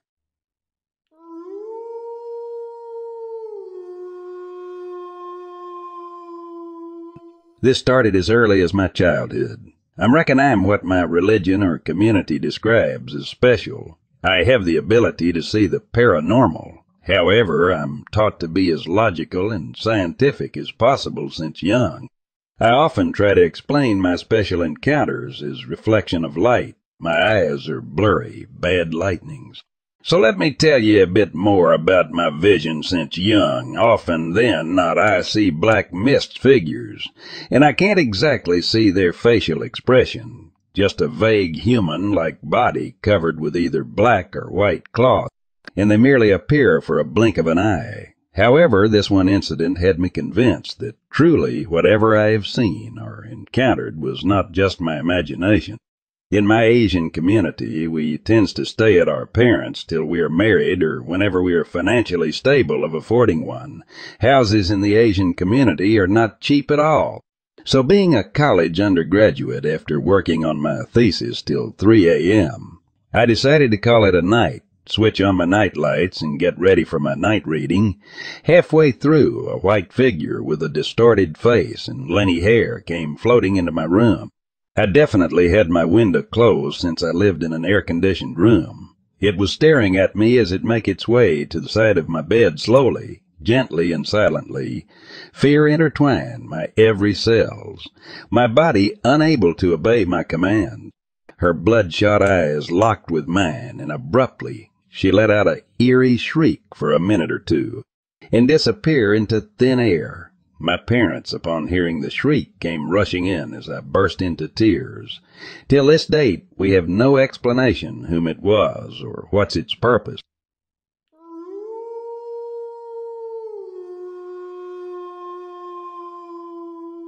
When I was a police officer, I had the ability to bond with folks with mental health issues. They would calm down and the situation would defuse itself. There was one older woman. She had an apartment but would wander the streets at all hours. She would scream at passing cars, go into businesses, and, and start asking for money and steal people's food, etc. She also shoplifted. A lot. Needless to say, she got arrested a lot. When she would be arrested, she would fight like a wildcat, injuring herself and the officers arresting her, except for me. I would say, Annie, you're gonna have to go with me now, and she would. The first time I arrested her, I asked if she had eaten, and she said no. So I stopped at KFC and got her a two-piece and a biscuit. Drove real slow to the jail so she could eat. After that, when she got caught stealing, she would request me to take her in. I didn't mind because no one got hurt. Annie didn't bathe real regular, so that to freshen up, she would splash herself with Stetson aftershave. The combination of her body odor and the Stetson could really gag you. Fast forward, and I've gotten promoted to sergeant. Right after coming on for afternoon shift, we get a fatal car accident. Annie had walked into the street at rush hour and been run over by a truck. pretty bad scene. The wheel crushed her head, and I couldn't help but be depressed, because while she could be a pain, she couldn't help it. It was just sad. When I got promoted, I was issued an unmarked car to replace my marked unit 361. I was out on the road later that evening when dispatch got a call that someone was breaking into one of the cruisers parked behind the station. They said the person was in the back seat, sitting. I was close and responded. The citizen pointed out the cruise, and it was my old one, 361. When I got to it, no one was in it. I opened it up and was immediately hit with the overpowering smell of Stetson aftershave.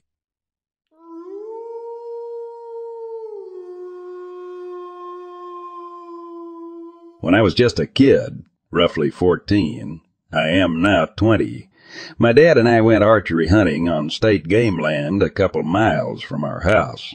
There were a lot of tram roads from people mining for coal back in the days. That said, we were a mile from the main road where we had our tree stands. It, my dad's stand was about 100 yards east of mine. Anyway, it was getting dark, so I knew to head out of the stand and meet my dad at the truck. I heard all this crashing and thought one. My dad was meeting my at my stand for once, and two, he was making a lot of noise. So I turned my head and boom, I see two little bear cubs play fighting with one another. They couldn't have been a year old. Truly a beautiful sight to see. However, what terrified me the most, where was Mama Bear? I immediately called my dad, freaking out. He said, Well, you're an idiot for staying in the woods this long. Should have been at the truck by now. Just make your way towards me. I'll meet you on the trail. The cubs were far enough out to where I could still see them, but there was a good distance between us. With my arrow still notched and my three pocket knife in my hand, I climbed out of my stand and tried to be as quiet as possible. I met my dad and we made it home. I have never been more terrified of the woods except when I run into a spider web hanging face, level in the middle of a trail. Heart attack every time.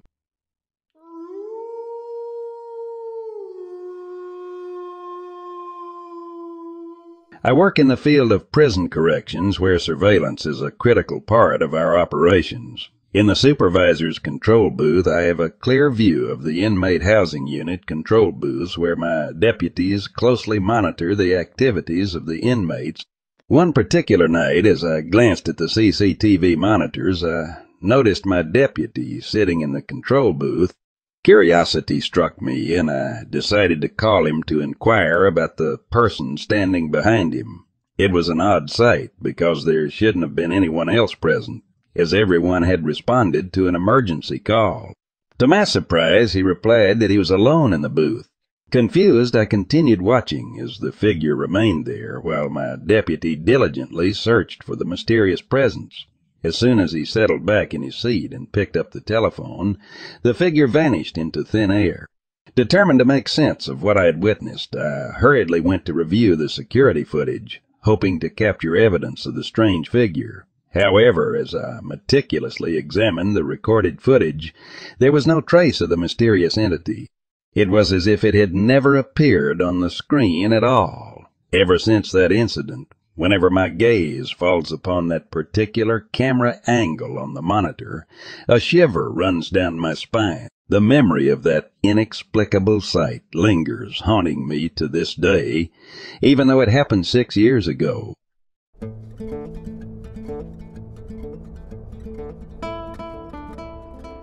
The U.S. Valkyrie, a formidable military submarine, prowled through the dark depths of the ocean, its sleek hull slicing through the water with precision. Inside, the hum of machinery and the distant echoes of conversations filled the air as the crew carried out their duties with practiced efficiency. The familiar scent of metal and seawater lingered, a constant reminder of the unforgiving environment surrounding them. As John stood at his station, monitoring the gauges and screens, his focus was abruptly shattered by a sudden commotion. One of the soldiers positioned near the porthole let out a startled cry, pointing urgently towards the inky blackness outside. He followed his gaze, his heart pounding in his chest. Something was moving in the abyss, something massive and unnatural. A sense of foreboding settled over him as he strained to make out the shape that emerged from the depths. The flickering lights of the submarine revealed elongated limbs and glimmering scales that sent a shiver down his spine. Attempting to warn his teammates, he yelled, his voice drowned out by the alarm bells and the increasing cacophony of panicked voices. And then it happened. Glass shattered, metal groaned, and the unknown creatures breached the submarine. Chaos erupted as the terrifying beings swarmed in, their alien forms twisting and contorting through the narrow corridors. John was no more. In the midst of the ensuing struggle, John found himself separated from his fellow soldiers, forced to fend off the relentless onslaught alone. The creatures moved with a primal hunger, their movements a macabre dance of agility and savagery. He fought back with all his strength, desperately seeking a way to repel these monstrous assailants. But alas, John was no more. I'm Andrew, a Navy SEAL. I was at the gym when I received an assignment, a call from High Command to lead a team of Navy SEALs on a mission to uncover the fate of the U.S. Valkyrie. We descended into the abyss, our specialized gear protecting us from the crushing pressures as we ventured deeper into the uncharted underwater cavern where the last signal was. As we penetrated the narrow passageways, we encountered the lifeless, hulking remains of the submarine, its trapped crew frozen in a horrifying tableau of death, all 30 Marines dead. The sight sent a chill down my spine. But there was no time for fear. We pressed forward, driven by the need to understand what had transpired. And then, amid the dimly lit cavern, we came face to face with the true horror that had claimed the Valkyrie, a monstrous amalgamation of octopus and shark, its razor-sharp tentacles and gleaming jaws poised for the kill. It was a creature born of nightmares, an apex predator that had, had adapted to the extreme depths. Trapped in the suffocating darkness, our senses heightened and we fought with every ounce of strength we possessed. The creature's intelligence and ferocity surpassed our expectations, as if it had been waiting for our intrusion. With limited resources and the weight of impending doom pressing upon us, we battled on, a relentless struggle for survival. In the depths of that abyss, Surrounded by the bodies of fallen comrades and the relentless onslaught of the monstrous creature, I realized that we were facing an enemy beyond our comprehension. The fight for our lives became a desperate test of willpower and skill as we grappled with the haunting question. Could we emerge from the depths or would we become mere echoes in the dark, forever lost to the unknown terrors that lurked beneath the surface? As the relentless battle waged on, we were pushed to our physical and mental limits. The creature's tentacles lashed out with a deadly precision, while its massive jaws snapped menacingly, seeking to devour any vulnerable prey in its path. The cavern echoed with the sounds of gunfire and the desperate cries of my teammates. We strategized and coordinated our attacks, exploiting every weakness we could find but the creature seemed to anticipate our every move, evading our bullets and counter-attacking with a terrifying ferocity. Its intelligence was undeniable, and it was clear that we were dealing with a force of nature unlike anything we had encountered before. As the hours turned into an endless struggle for survival, the cavern became a twisted labyrinth, each turn leading us deeper into the heart of darkness. Our equipment dwindled, our bodies weakened, but our determination remained unyielding. Failure was not an option. With every passing moment, the line between reality and nightmare blurred. The oppressive darkness seemed to seep into our souls, playing tricks on our minds. Whispers echoed through the depths, insidious voices taunting us with our impending doom. One by one, my comrades fell, consumed by the insatiable hunger of the creature. Their sacrifices fueled my determination, igniting a fire within me that refused to be extinguished. I fought with a renewed vigor, unleashing a final surge of energy against the relentless adversary.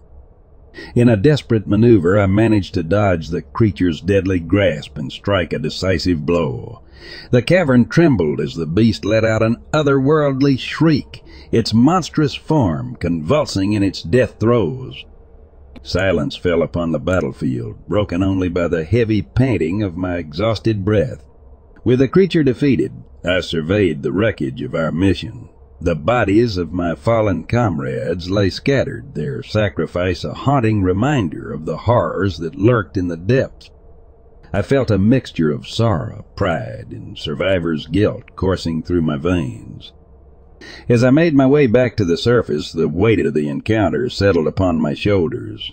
The ocean's depths held secrets beyond human comprehension, and the unknown creatures that dwelled there were a testament to the unfathomable mysteries of the world.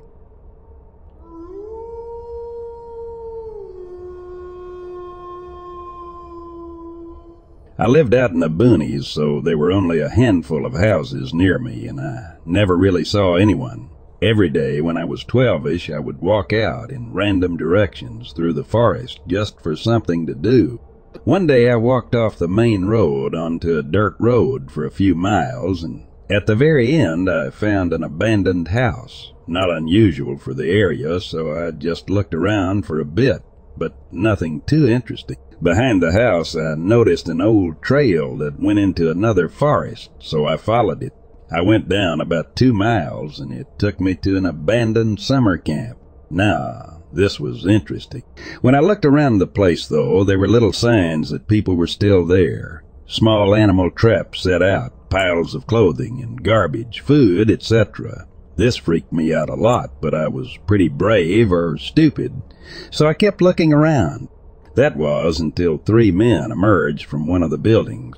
They were dirty and unshaven and pretty old and large. The moment I saw them, I started sprinting away, leaving my bag and everything. I got out to a clearing and stopped to catch my breath and looked around to see if I was safe, and I wasn't. They came into the clearing, attempting to run after me. I was being followed. I continued sprinting until I got back to the abandoned house. I couldn't run any more, so I went into the basement and hid inside a cupboard, crying at that point. I heard them talking outside the house and walking around. Luckily, the building was so old the floors could barely hold me at 90 pounds, let alone those gigantic men, so they couldn't go in. Eventually, it went silent. I still stayed in there for a long time, though, just in case they were still outside. By the time I came out, the sun was setting and they were gone. When I got home, my parents freaked out since I was gone for so long, and I just burst into tears and told them the whole story. My dad couldn't believe I went so far away, and told me that a band of hicks that are notorious for committing petty crimes lived less than a mile from the camp. After learning everything, I was pretty deterred from going out for a while. I can't imagine what might have happened if I they caught me.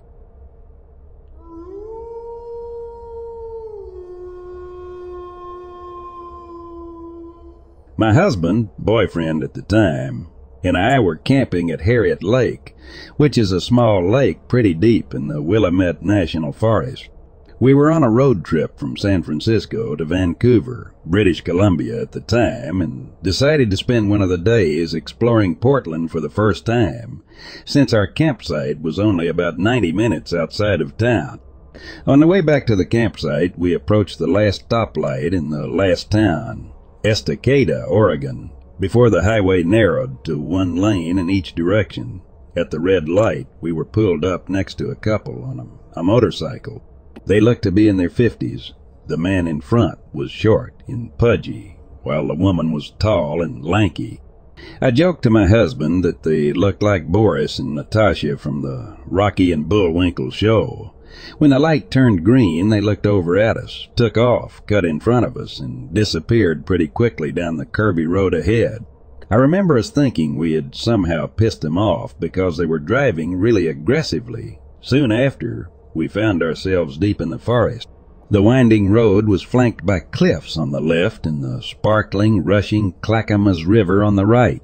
Several small, old green metal bridges passed over the winding river. Cell signals quickly disappeared. The sun was setting, and there were very few other people around except for a few fishermen trying to get one last catch before the sun went down for the night. As we approached the last bridge before the turnoff that led to the campground, we noticed that Boris and Natasha were parked sideways in the middle of the bridge. As as we got closer to them, we realized that they were staring at us, as if they were waiting for us. I noticed that Natasha was holding something in her hand. Whatever it was, it was producing a fair amount of smoke. I thought maybe we had come across them smoking a cigar or a blunt or something. As we slowed down and prepared to pass them on the bridge, I got a closer look at whatever was in her hand and realized that there was way too much smoke coming from it. Right as we were passing them, she tossed the smoking object under our car, and they scooted off the bridge, then turned around and looked at us as if they were waiting for something. My husband had the quick thinking to swerve and accelerate out of there, and not a moment too soon, as the object exploded forcefully right after our car cleared it. Boris and Natasha, having failed to accomplish whatever their goal was, disable our car and then rob us, kidnap us, kill us, sped off down a side road. While my husband was furious, I was totally freaked out. I was convinced that they were following us, or had been following us earlier in the day. I was 100% certain that they would return to our campsite in the night, where we were defenseless in our tent, and finish the job, get rid of the witnesses. Fortunately, we never saw them again.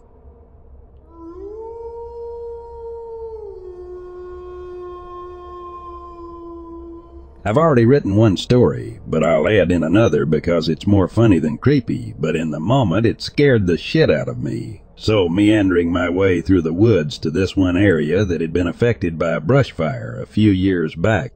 Tons of dead fallen trees and branches, which makes for excellent kindling, which is what my dad sent me out there for. It was around 5 or 6 p.m., but was bright out since it was mid-June. I'm walking, looking down at my phone, texting, and I stopped for a moment to quick hit send, and even though I'd stopped walking, I could still hear leaves crunching. Oh, I freeze and look up as slowly as possible, and less than 15 feet in front of me was a black bear. He looks at me. I look at him. It's June, it's mating season, and he was one big mother F. I keep looking at him. He keeps looking at me. I'm frozen stiff, and this guy is too.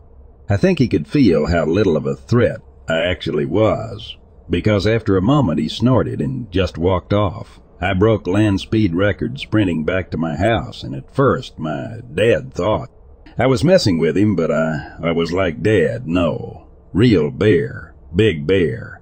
As I'm like gasping for breath, and finally he walked into the woods to see for himself and stepped right in a fresh pile of bear poop. I told him stepping in poop was payback for him being skeptical.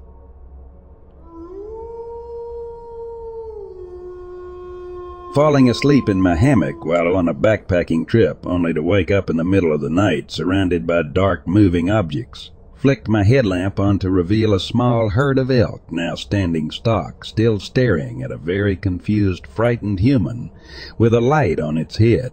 They all held that position for several seconds, then bolted, Elk are a lot bigger and menacing when you're by your lonesome and they are within arm's length of you.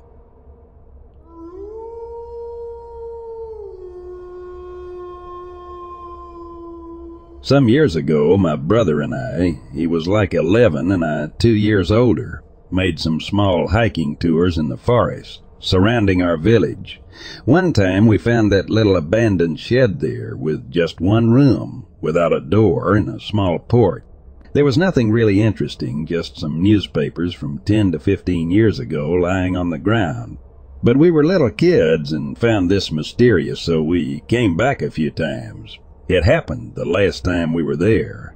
Suddenly, when we were about to go, I heard a loud noise from the attic, which was locked with a shutter on the outside of the shed. I thought it sounded like something wanting to move out there. We left that place in a hurry, a few weeks later, we decided to go there again, and suddenly a woman I've never seen before went into our way. She asked us where we wanted to go, and we answered with nowhere. Then she said something like, then bugger off, and we ran away. There was nothing else there except this cabin, and we were not on private property. I've never been there again. but I'm 17 now, so I think I should pay it another visit. Not a very mysterious tale, but I would be interested to know who that woman and what that noise was.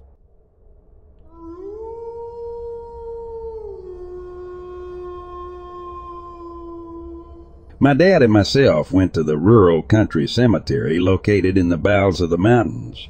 This cemetery has been there for at least 80 to 90-ish years. The cemetery sits on a small hill with a very steep road going up, and only a very good truck with four-wheel drive or an off-roading vehicle. It is located in between a four-way with only one home, a double-wide trailer located down the hill. It has been empty and for sale for about a year or two and was empty during the time of our visit. It has a fence encircling it and two pine trees sitting in the middle of it. That is where my family is buried at. My grandmother and grandfather are both buried there as well as also my uncle has his ashes buried there at the foot of my grandfather's vault. Three other aunts and uncle are also buried there as well as also my great grandparents. We got out and went in through the chain lock gate that you have to pull apart and open from the outside, and we sat there at the grave of my grandparents for about 20 or 30 minutes talking. We sometimes like to walk around the grounds for a little bit before we headed back to town, and today was no different. We walked around looking at the graves from the 17 and 1800s as well as Cherokee graves marked by rocks at the very back of the cemetery However, I find something odd on the ground by the flat grave marker of a grave from the 1800s. It was a large bare foot, at least two times larger than my own. I sat there stunned by what I was seeing. Its big toe was extremely large and round, in the shape of a quarter, perfectly round. Its arch was very broad and curved, very sharply making the rest of the foot almost look sideways in appearance whatever it was, was there the night prior passing through. I inspected the ground surrounding the rest of the cemetery and saw nothing else. No other tracks. Nothing. When I got home, I told my mother what had happened. She seemed to believe me and my father, considering I never had lied about or seen anything like that before, and could see the amazement on my face. Sometime later, my aunt happened to be visiting, and I told her about the track I had found out there and what she told me was very creepy. She told me that when my other uncle, my father's other brother, was out there visiting the graves years prior, he had come home and said that something was in the cemetery. He said he had felt watched and was very creeped out being alone back there. Story 2 when my grandmother died in the fall or early winter of 2018, my aunt and uncle had moved into her trailer until they could secure a new home and move back from Tennessee to be closer to family. Many people who stayed the night there while my grandmother was still alive would swear that my grandfather's spirit, who died of cancer under hospice care in the trailer years prior, was haunting the residence. Strange footsteps in the night Voices and knocking on the trailer walls would always be reported. My father had even encountered said oddities. The knocking would come from outside, and when looking outside or stepping out there with a gun, nothing was there. Prior to my grandmother's passing, my father's only living brother had come to visit her at the trailer one evening and said that he had seen my grandfather standing by her with his arm around her and said, Son, I'm going to see your mother very, very soon, and vanished. And my grandmother did join him a few months later. That was when my aunt and uncle had moved in. Afterwards, nothing strange happened. Yet, and eventually, they had found a suitable new home to move into and on a cold winter's night. In the dead of night, and the power to the trailer being cut. As you would expect, given the moving, the power bill didn't need to be paid. We arrived at the home and began moving them out. Boxes of clothes, TV couch, and beds, all loaded into the U-Haul parked in the front yard with the engine running and keys in the ignition. Suddenly every light source we had helping us see suddenly went out. The flashlight we had hung on the front porch facing the front door went out, and the U-Haul's engine completely died. We went back out and turned them back on. However, a few minutes later, you did it again. Everything went black. That is when I started being followed around while inside the rooms of the trailer. I felt like someone was following me around, and I swear at times I would hear a female voice saying, Hi, as well as also a male spirit, which was also heard by my father while in the living room. This continued on, and finally, after everything was loaded into the U-Haul and we regrouped outside, getting ready to leave, we were talking out in the front yard. I swear I could hear someone walking across the hardwood floors in the home. We left a few minutes later. A new family moved in a few months later after doing some rehab on the trailer, and as far as we know, no other paranormal activity has been reported since. Story 3. My father and my, myself was driving back to town after visiting my aunt, his sister, and my uncle. It was late evening and raining. Everything was muddy and wet, and fog was hovering somewhat over the hills and ridge lines. Well, we got to the bend in the round, a little curve about a mile out from their house, when suddenly this woman, with short black hair, comes, walking out of the dense, thick woods. Beside the wood my father almost hit her head on and swerved to avoid her. She was wearing a rain jacket and black sweatpants and dirty tennis shoes. It looked like she had been in the woods all night and maybe even all week long. She had mud all over her pants. Her jacket and shirt underneath was soaking wet and her hair was a mess. She looked very disheveled and stared at us all the way up the road just, staring. I even looked back in the Riverview mirror and she was still up there at the side of the road, looking at us, not even moving back into the woods or walking away, just staring. She was never seen again. I often wondered just what the hell she was doing out there, wet and alone. Perhaps she was kidnapped. Whatever the case, however, something was off about her.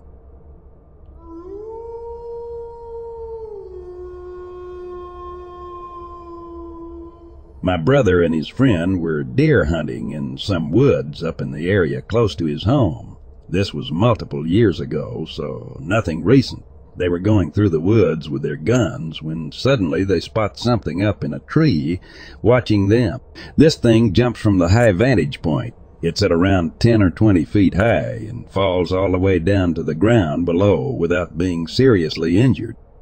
It was covered in thick matted hair and it was on two legs. They aimed their guns at it, but the thing screamed at them, though he considered it more like a roar, and charged them. They ran out of the woods as fast as they could, as this thing chased them for quite some time before finally losing it and getting back home in one piece.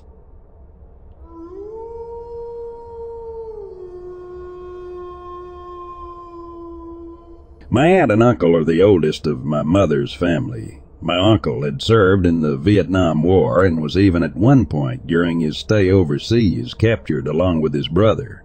They were held hostage by the Viet Cong in the jungles. He would often tell stories of how they would whip them and beat them mercilessly and throw fesses on them all. After he returned home, they lived up in the rural area where my mother's family had grew up in their whole lives before she had moved to the city and started a private and home nursing hospice center where my aunt had personally cared for deathly ill patients. From dementia to cancer, she treated them all with respect and kindness. However, around the early 2010s, after she had long since retired and my uncle starting to become ill, as well the organization whom helped get them the house in the first place had foreclosed on them, they were forced to move into a retirement home by the interstate it was a high-rise apartment building located by the interstate. Mostly only elderly and handicapped were living there, well around a few months to maybe a year to their stay there. One night they saw an elderly woman who had Alzheimer's walking across a frozen pond near the building. No one even knew she was even gone. They watched in horror as the woman fell through the ice and drowned in the lake. No one discovered her body until the next morning. After that, however, some say her spirit lingered in the building. My aunt and uncle would often talk about how they would hear footsteps, and one night my uncle had gotten up for something to drink in the middle of the night to see the woman standing there in the middle of the living room. Frightened, he flicked on the light and she vanished. This continued for months and weeks as the spirit of the woman haunted their living area. Eventually, though, they were forced to move again after my uncle had dementia for years prior. But it started to progress even more during this time, and just last year he would lose his long battle with the evil disease.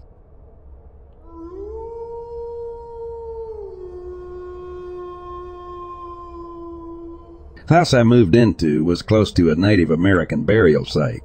The landlord out of nowhere said the last tenants experienced ghosts. I wondered why she brought that up, blew it off, whatever. The garage had a single light bulb with a pull string on it. I'm sitting eye level to it about two feet away, smoking a cigarette. I watch it pull straight down and click off. I run inside, try to chill. My mom gets home and I tell her what happened. She thought I was just making it up, didn't really believe it. Two months go by, I'm sitting on the couch. She runs in the house, pale as can be. The light string pulled down again, right in front of her. Other things happened in that house, but nothing ever threatening. That changed my mind on the world around me. Whether it was a parallel dimension that was somehow interacting or a ghost, that house changed my life.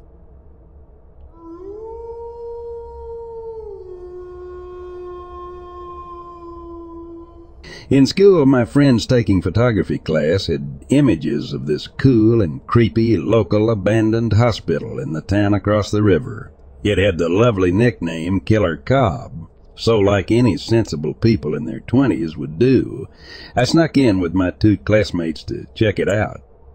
It was one of my most surreal moments in my life. The first creepy thing was one room that looked like it had dried fruit scattered across the floor. In the next room there were plastic tubs with names, dates, and numbers on them. Each tub had organs and body parts in them and preservatives.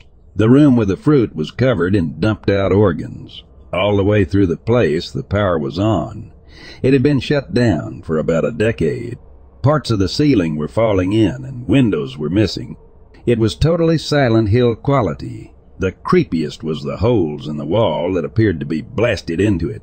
The shatterproof glass with the wires in it had chunks blown out. Looked like someone had fired a shotgun through the place. There were areas that had splashes of what looked like dried blood near the holes, and we found a stretcher that had a pool dried of blood that ran off the sides and under it. We got to the third floor, and as I am peeping through a window on a set of double doors, scoping out the halls that were dark to check for anything that might, you know, want to kill us, I saw this stick start coming out from behind a corner. Then I understood that I saw the shadow of a man holding a shotgun coming down the hall and dropped low behind the door. I ran to the others and we noped out with a quickness. We reported the creepy possible murders and very real biohazards to the local news channel. Years later it was torn down. Another, I was working on a painting at my school, and my instructor had her kids in the building. They played and giggled, running around the whole time. I heard it, but it didn't bother me. I was really into my project, and time slipped by quickly. I realized at a point I was starving and looked down at my watch, realizing it was almost 2 a.m. I couldn't believe she and the kids were still there. As I walked to the door to tell them I was leaving, as I came to the door leading to the hallway, everything became completely quiet. I walked through the building to see what was up, and I was completely alone and creeped out. I peeked out the window that overlooked the parking lot. Nothing. I left and tried to not work up there by myself from that point forward. One of my friends had a similar experience.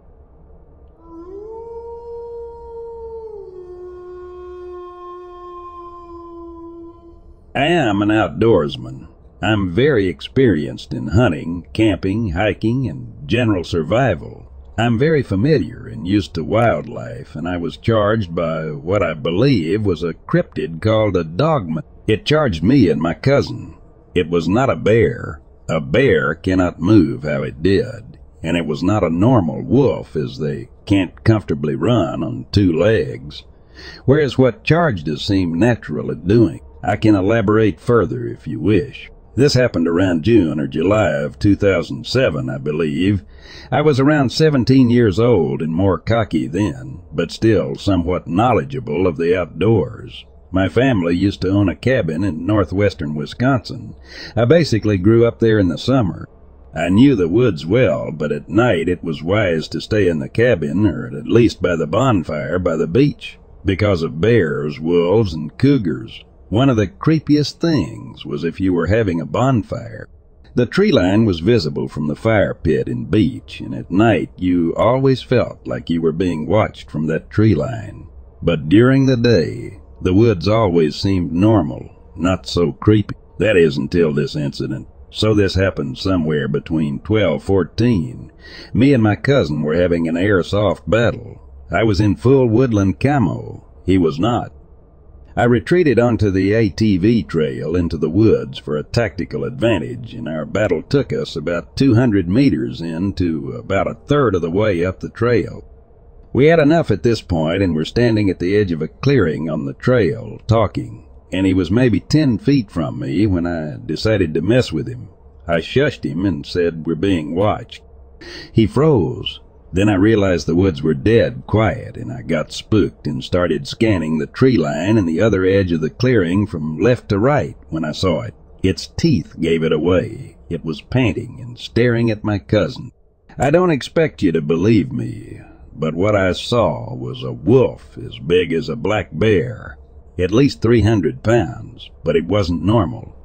This wolf was on two legs, crouching next a tree with its arm grasping the tree, grasping with a clawed hand. It had reddish brown fur. I told my cousin that we have to go, and next thing I know, he is sprinting, and I look back at Wolfie, who had locked on and sprinted a few steps on two feet and then I turned and ran when it looked like Wolfie was dropping to all fours.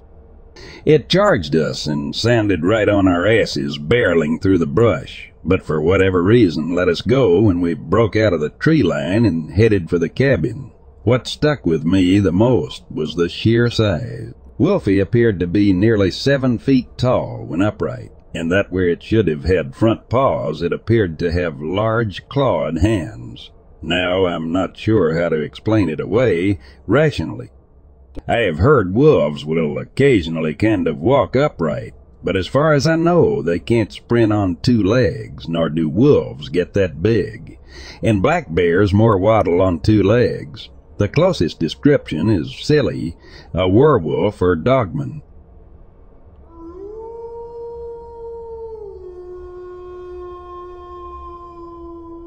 For years I lived in a little country town. My house was pretty far back in it, about 20, 30 men from the nearest small city.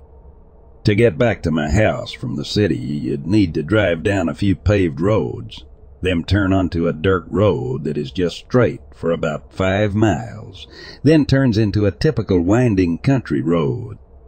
One night I turned onto the dirt road and after a few miles, I noticed a light on the side of the road that was still very far away.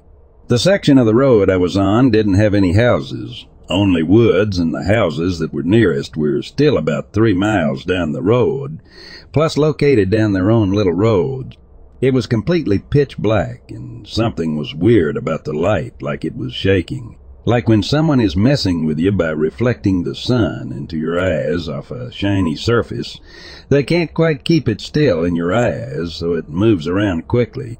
The light stayed only pointing down the road in my direction, though it was easy to spot as it was right on the side of the road on a pitch black night. As I got closer, my headlights began to light up the source of the light.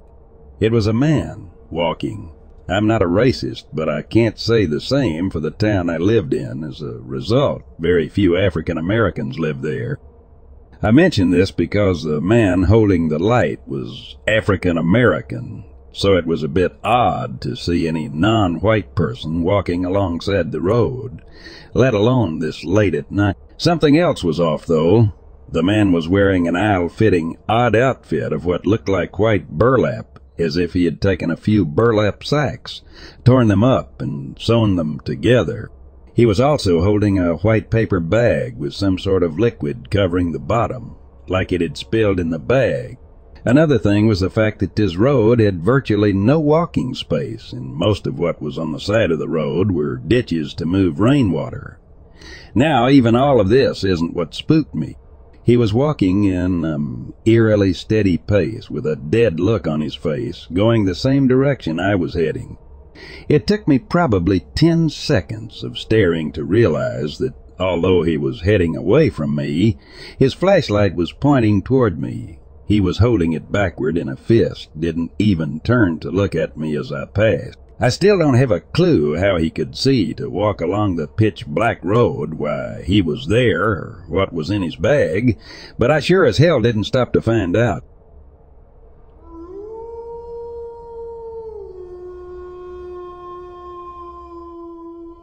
Doing a road trip with a friend of mine, driving from Tennessee to California, we planned out many stops along the way, trying to take in the sights of the country and avoid expensive hotels by camping. We had made it all the way down to Arizona and stopped in Flagstaff for dinner. Our next stop was to drive down to Sedona and camp at a free camping ground right off the interstate. When our exit came up, it was well into the dark hours. We pulled off, and the exit immediate turned into gravel road. Strange, but no problem, my Jeep could handle it. The road turned from gravel to just massive rocks as tall trees seemed to surround us from now where. Our GPS cut out, and we began to wonder if we were lost. My friend then took the opportunity to begin telling alien abduction stories, which seemed harmless at first. We continued for a few more miles till we found a spot we figured we could camp out. As we pulled up, even before we got out, my friend said he thought he saw something moving along with us. I in disbelief, yet still freaked out enough by the alien stories, stopped the car. We waited and sure enough, I saw it too, one shadowy figure. No two, no three. Then more than I could count but just outside of light, so we couldn't make them out completely. Finally, when all the previous figures passed the last one, something looking 11 or 12 feet tall stood looking at us. We didn't sit for a moment longer. I put the car in gear and drove for another five miles. Needless to say, we were shook and making ridiculous assumptions on what we saw. We camped on that road, but stayed in the car. I didn't sleep well, I cannot say about my friend. Come morning time, our worries were put to rest. Around 5 a.m., a group of hunters came by us as we were getting up. Turns out the road was a prime spot for hunters to camp and hunt elk. They told us that they had spotted a herd some 30, 40 strong and let us borrow their binoculars to check them out, maybe a half mile off from our campsite. We continued down the road which led directly into Sedona and ran into our 12 feet friend from the night before, a massive moose. I'd never seen one before and had never known how huge they could get. He wandered across the path in front of us, took one look, and walked away.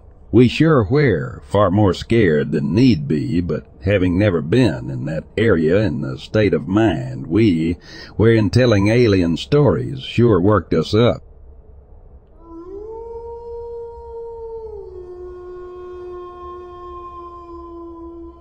My family and I were making our way back home to Colorado from Texas. We made it home somewhere around 1 a.m., but Mom wanted to unpack the car that night so we wouldn't have to deal with it the following day. We lived out on an 80 acre piece of land about an hour east of Colorado Springs, and our nearest neighbors weren't for miles. It was pretty desolate. We didn't have electricity or running water. The goal was to be off the grid. The sky was clear, beautiful, stars everywhere. No sign of any bad weather. As we were unloading the car, though out of nowhere we got hit with a fog so dense you couldn't shine a light through it. You couldn't see your hands unless you touched them up to your face. It was already cold enough, and the sudden fog didn't help. The four of us froze in our tracks and called to one another. I managed to find the car and clung to it for dear life. My mother was closest to the house, and she managed to get to the door and unlock it. After that, we called to one another to see who was close to whom, what we were close to when the fog hit, and then Mom would call back. This went on for a solid forty minutes. The fog did not go away. My father finally found me, and from there tracked down my sister. He tied ropes to our waists so we wouldn't lose one another. he echoed back and forth with my mother, which took another twenty minutes. The fog still wasn't gone. Finally, at long last, like a ghost popping through a wall, my mother appeared in front of us. We all got into the house immediately and warmed up in front of the propane heater. We looked out the windows, and it was as if someone had painted them over so you couldn't see out. Somewhere around 14 people died that night from the fog. It was one of the weirdest natural occurrences I'd ever experienced. I want to say I was 11 years old. Needless to say, from then on we only arrived home during the day if possible. If not, we'd stay in a hotel rather than risk dying in our front yard.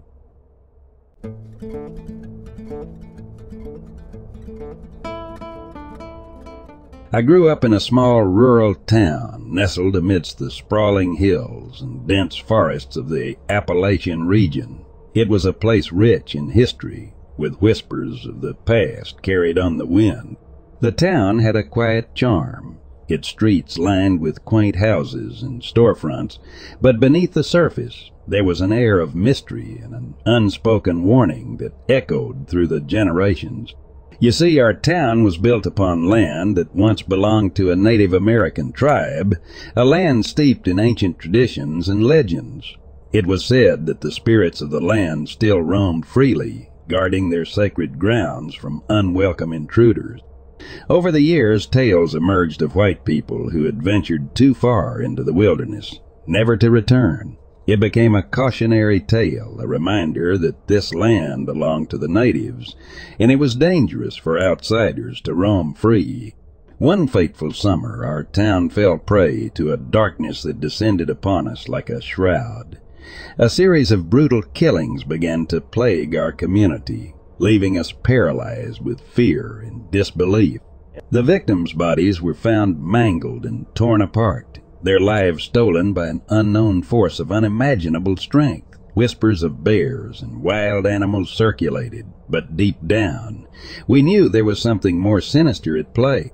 As the terror tightened its grip, an investigative journalist named Jake arrived in our town, drawn by the disturbing reports. His determination to uncover the truth led him to team up with Ayana, a resilient Native American tracker who possessed an intimate knowledge of the land and its secrets. Together they embarked on a treacherous journey to unravel the enigma that gripped our town. With each investigation, they discovered a chilling connection among the victims. They had all encountered a creature, a werewolf-like being that prowled a specific place deep within the wilderness. Determined to confront this elusive creature and bring an end to the nightmare, Jake and Ayana ventured into the heart of the untamed wilderness. As they neared the creature's lair, a confrontation ensued, enveloping them in a violent clash between man and beast. In the chaos, Ayana, the fearless tracker, fell victim to the creature's ferocity, her life extinguished before their mission reached its culmination. Yet Jake, fueled by grief and adrenaline, managed to land a critical blow on the creature, inflicting a wound that forced it to retreat into the shadows.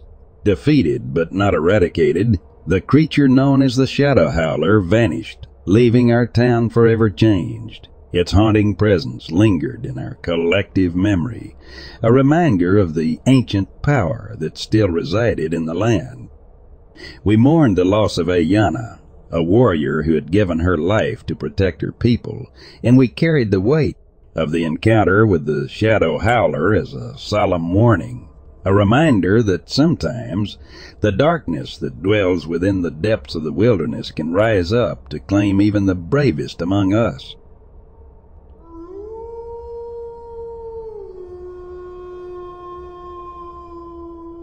I live in Pennsylvania and was doing an amateur paranormal investigation in a small wooded area. There is a large, recently built church in the area. I call the area the Broken Bridge due to having a few bridges around from horse and buggy days. The area is notorious for having high amounts of paranormal activity. Okay, main story. About five years ago, early summer, I was visiting the area with my girlfriend around sunset. We were laying in the grass next to the creek that separates the broken bridge area. Shortly we heard this giant snap as this tree limb from pretty high up fell to the ground maybe 50 feet away from us. This figure stood up from the spot it fell and started running extremely fast and far away. The figure, the best way to describe it, was a shadowy humanoid. It was about five or six feet tall and had long, skinny limbs. But where a head would normally be, there was none. Basically, picture a Slenderman type character, just formed of shadows and headless. That's what I saw years ago. From that day on, I have come to that area at night multiple times without seeing it again. About three nights ago, two friends and I were doing an amateur paranormal investigation in the same area. Aside from seeing normal shadow people with heads and normal limbs waltzing around the area, some unexplained voices and such, nothing has stuck out and spooked me like what happened. We were standing between a field opening and a few isolated trees. These trees aren't very, very large, small enough to be climbed, but not a lot of footing available as we've tried climbing them before. My buddy Matt chinned his flashlight at one of the trees while myself and another friend were looking away. A loud scratching slash clanking noise was heard for a second, and Matt quickly became terrified, screaming. Something just climbed that tree. Something humanoid climbed that trees. Side note, the tree was maybe 60 feet or so tall, and the thing was climbing from the very bottom. Spooked, we backed away and left the area. Later that night, Matt was obviously spooked, which isn't an easy thing, knowing him. Before I let his describe what he saw, I drew out the creature I had seen years ago, and his face becomes pale as he tells me that is exactly what he saw climb the tree. I have no idea what the hell this thing is, nor do I know any similar animals in the area. In central Pennsylvania, we'll get the occasional bear, deer, hell, even some runaway cows. This humanoid wasn't a bear. Neither of us believe it was. Can anyone offer insight?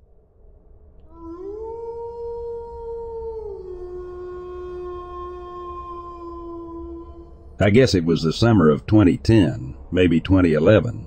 A friend and I went to GameStop. It was during the times when video games were important in our lives, and we went there for a midnight release. So I guess we picked up the game somewhere around 12 o'clock a little after. GameStop's about 20 minutes from my house in Attalla, Alabama. My family owns 180 acres. It's on a road called Ponderosa Road. So we leave from GameStop and we're headed home. We got a night planned of just playing the game, so we're pumped up. So you go through a hollow across the bridge windy road, but you're heading upwards to get to our house. We're all on top of that mountain, as we call it. So there's a bit in the road a single lane road. I'd say it's probably 10 feet wide. Well, as we're coming up the hill, I don't have my brights on.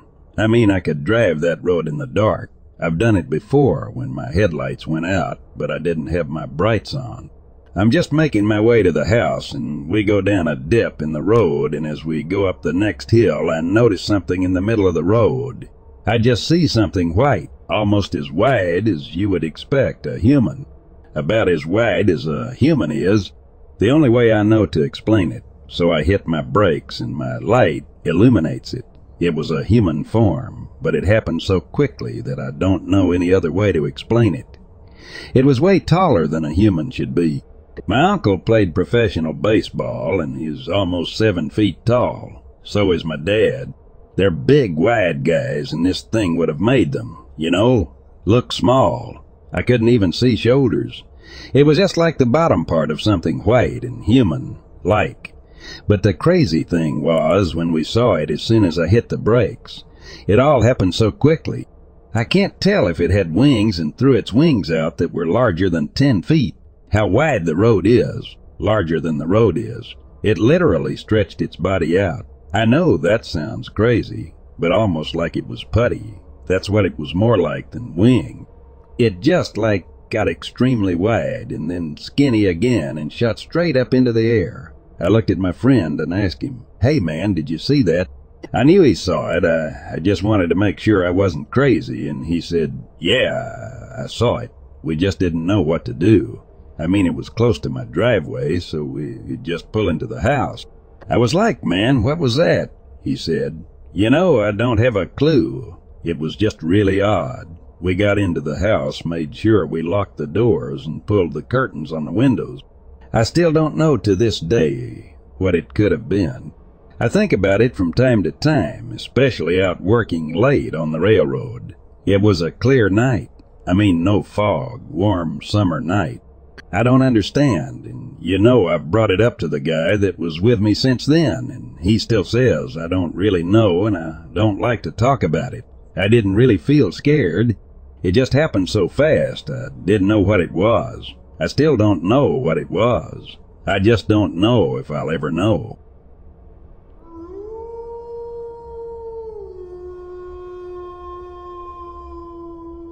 Last summer, my boyfriend and I were camping in the uh, Ouachita Forest off the Winona Scenic Route. We drove through a gorgeous spillway to a creek site where we had set up our camp and were laying in the hammock for the night. Next thing I know, our dog is growling this deep growl I'd never heard her make, so it caught my attention. I look in the direction she's growling in, and I see this weird humanoid figure just casually walking in the woods about 10, 20 feet away from us. It's a light gray, maybe white color, seven-ish feet tall, very skinny, and has an abnormally large head. Our dog barks and catches its attention. It stops for a good 20 seconds, looks at us, then carries on its way. Needless to say, we immediately packed everything up and left. We hadn't taken anything recreational that night, though I sort of wish we had now. I don't know what I saw, but it scared the S out of me, and I'm so curious if we were the only ones to see, have ever seen anything like that out there.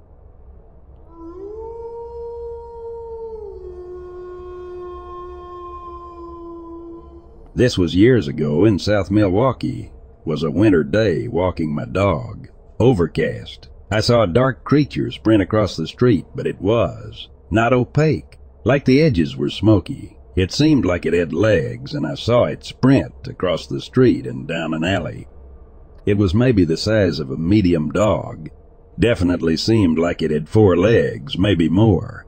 I did a double take, but couldn't find any trace of it. It was like it blipped into our dimension just for a few seconds.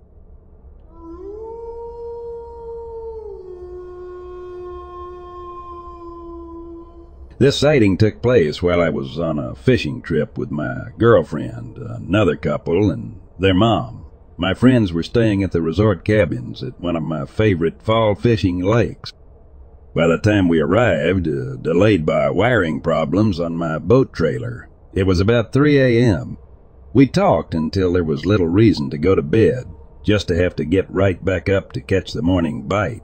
About an hour and half, uh, half before sunrise, my friend Wes and I decided to go for a little walk down to one of the streams that feed out of the lake. I was curious to see what the fish were doing. We both had flashlights shining them into the stream as we walked along, trying to spot fish. The further we went, the more uneasy I became, and I have been in these woods all of my life and never felt like this ever. I asked Wes if he felt kind of weird. He said kind of. We decided we'd head back. We moved to a different cabin closer to the lake. After the evening fish, I returned at late light, bummed about missing a very large brown trout. I spent most of the evening listening to fish jump and looking at stars. Wes' mom went to bed first, and about 11:45 p.m. the rest of us went to bed. My girlfriend and I were not sleeping in the cabin with Wes and his family. We were sleeping in the back of a full-size Chevy Suburban, mainly because Angela and I wanted a little privacy. Angela and didn't go right to sleep. This was about an hour and a half after everyone said good night at the campfire. I sat up to smoke a cigarette and I was looking out the rear side window when something caught my eye. The cabins where we were staying are not very large. There was outdoor lighting attached to the middle of the roof line of the cabin. At first I thought it was the wind moving the tree branches or bushes, but something wasn't right. I then began to realize was I was seeing. I thought maybe I was a little more tired than I thought, and that my eyes were playing tricks on me. Except the trick didn't go away. Just to make sure, I asked Angela to sit up and look around and tell me what she sees. I totally expected to look stupid, and have her tell me she saw nothing. I did not tell her what I was seeing or where I was seeing it. I looked down at the floor. Angela sat up and it wasn't even two seconds before she visually locked onto the same thing I did. Still looking at the floor, I asked, What do you see? Her first word was Yeti, and with that things now felt real. We both became excited, scared, and curious. I was a bit more uneasy with how the Bigfoot was moving and acting. It was about 50 feet away, back in the tree line on the other side of the cabin, about 15 feet away from Wes Mom's truck. It was standing just out of the light, so as not be directly seen. It was about seven, one and a half to eight feet tall, covered in hair, very broad in the shoulder and across the chest. It wasn't as bulky as what is in the Patterson film. What made me very uneasy was its movements and actions. It wasn't coming forward. It had one arm up above its head and to the side, resting on a tree. It was rapidly rocking from side to side and bobbing up and down. Angela made a statement about getting out to maybe get closer to it. I was in the process of telling her no when the next surprise was realized. Angela points out that there's more than one. About two feet behind the tailgate of my friend's mom's truck was crouched not one, but two of what appeared to be smaller Bigfoots. They were crouched close together, sitting motionless and looking directly at us. They looked like they were younger ones compared to the big ones still rocking back and forth by the tree. They were not as broad in the shoulders or chest. Angela and I wondered what to do, quietly talking to each other for five or ten minutes. I decided to wake up Wes by yelling toward the window of his bedroom, which was in the middle of the back wall of the cabin. Wes answered back and I told him to look out his window. At first he couldn't see anything through the window. I didn't tell him what to look for or what I was seeing for fear of him thinking we were pulling a joke or uh, that we were totally out of our minds. As he opened the window, I asked him, Do you see it? His response was, Oh my God. Wes didn't say another word, which made me even more uneasy. I couldn't deal with it anymore. I jumped up to the front seat and was gonna start up the rig to back them off a little when I got up front, I couldn't find the keys. I became a bit panicky. I found the keys and started up the Chevy with a big vroom, and it hardly seemed to bother them. I then decided if I was going to see Bigfoot, then by God, I'm gonna try to get a good look. I was parked in such a way that I had to pull way out and swing the front end around for my lights to hit them directly. As soon as the Chevy moved, they took off back into the trees and bushes. I then headed down the road toward a picnic area where they might cross the road. On the way, Angela said she had enough and didn't want to be around the Bigfoot anymore. I turned around, ended up taking a wrong turn finding, and myself driving cross country through the cabins in the resort. I was turned around so badly I didn't know where I was. Angela spotted the cabin where we stayed the first night. I then began to drive out to the highway to leave because Angela didn't want to return until daylight. Just before I got to the highway, I remembered my friends at the cabin and the fact that they had their newborn baby with them. Angela agreed we couldn't leave them there, so we returned. Wes said that as we were driving off, something ran across the road behind us on two legs. Angela and I decided to leave the Chevy parked halfway blocking the road and go inside the cabin. After we got inside, I asked Wes if he'd seen what we saw, because I still could not take in the fact that this really happened. Wes told me he definitely saw what he believes to be a Bigfoot. He explained that he became salient because of the two smaller ones at the back of his mom's truck. After 20 minutes had gone by, I needed a smoke real bad, and Wes' mom wanted something to drink. Both were in my rig. Wes was the first to step outside. On the way back to the cabin, we heard a bunch of commotion down toward the lake, like something running through bushes, snapping and breaking limbs. We ran to the front door of the cabin. Just as we started up the steps, I fell onto the porch, scaring Wes to death. Once inside, we talked and tried to rationalize everything that had happened. Things were quiet outside from then on, other than the fact that a raccoon thumped on our door which startled us. What was strange was that the raccoon seemed to want to come into the cabin. The raccoon did not touch any of the food outside the cabin.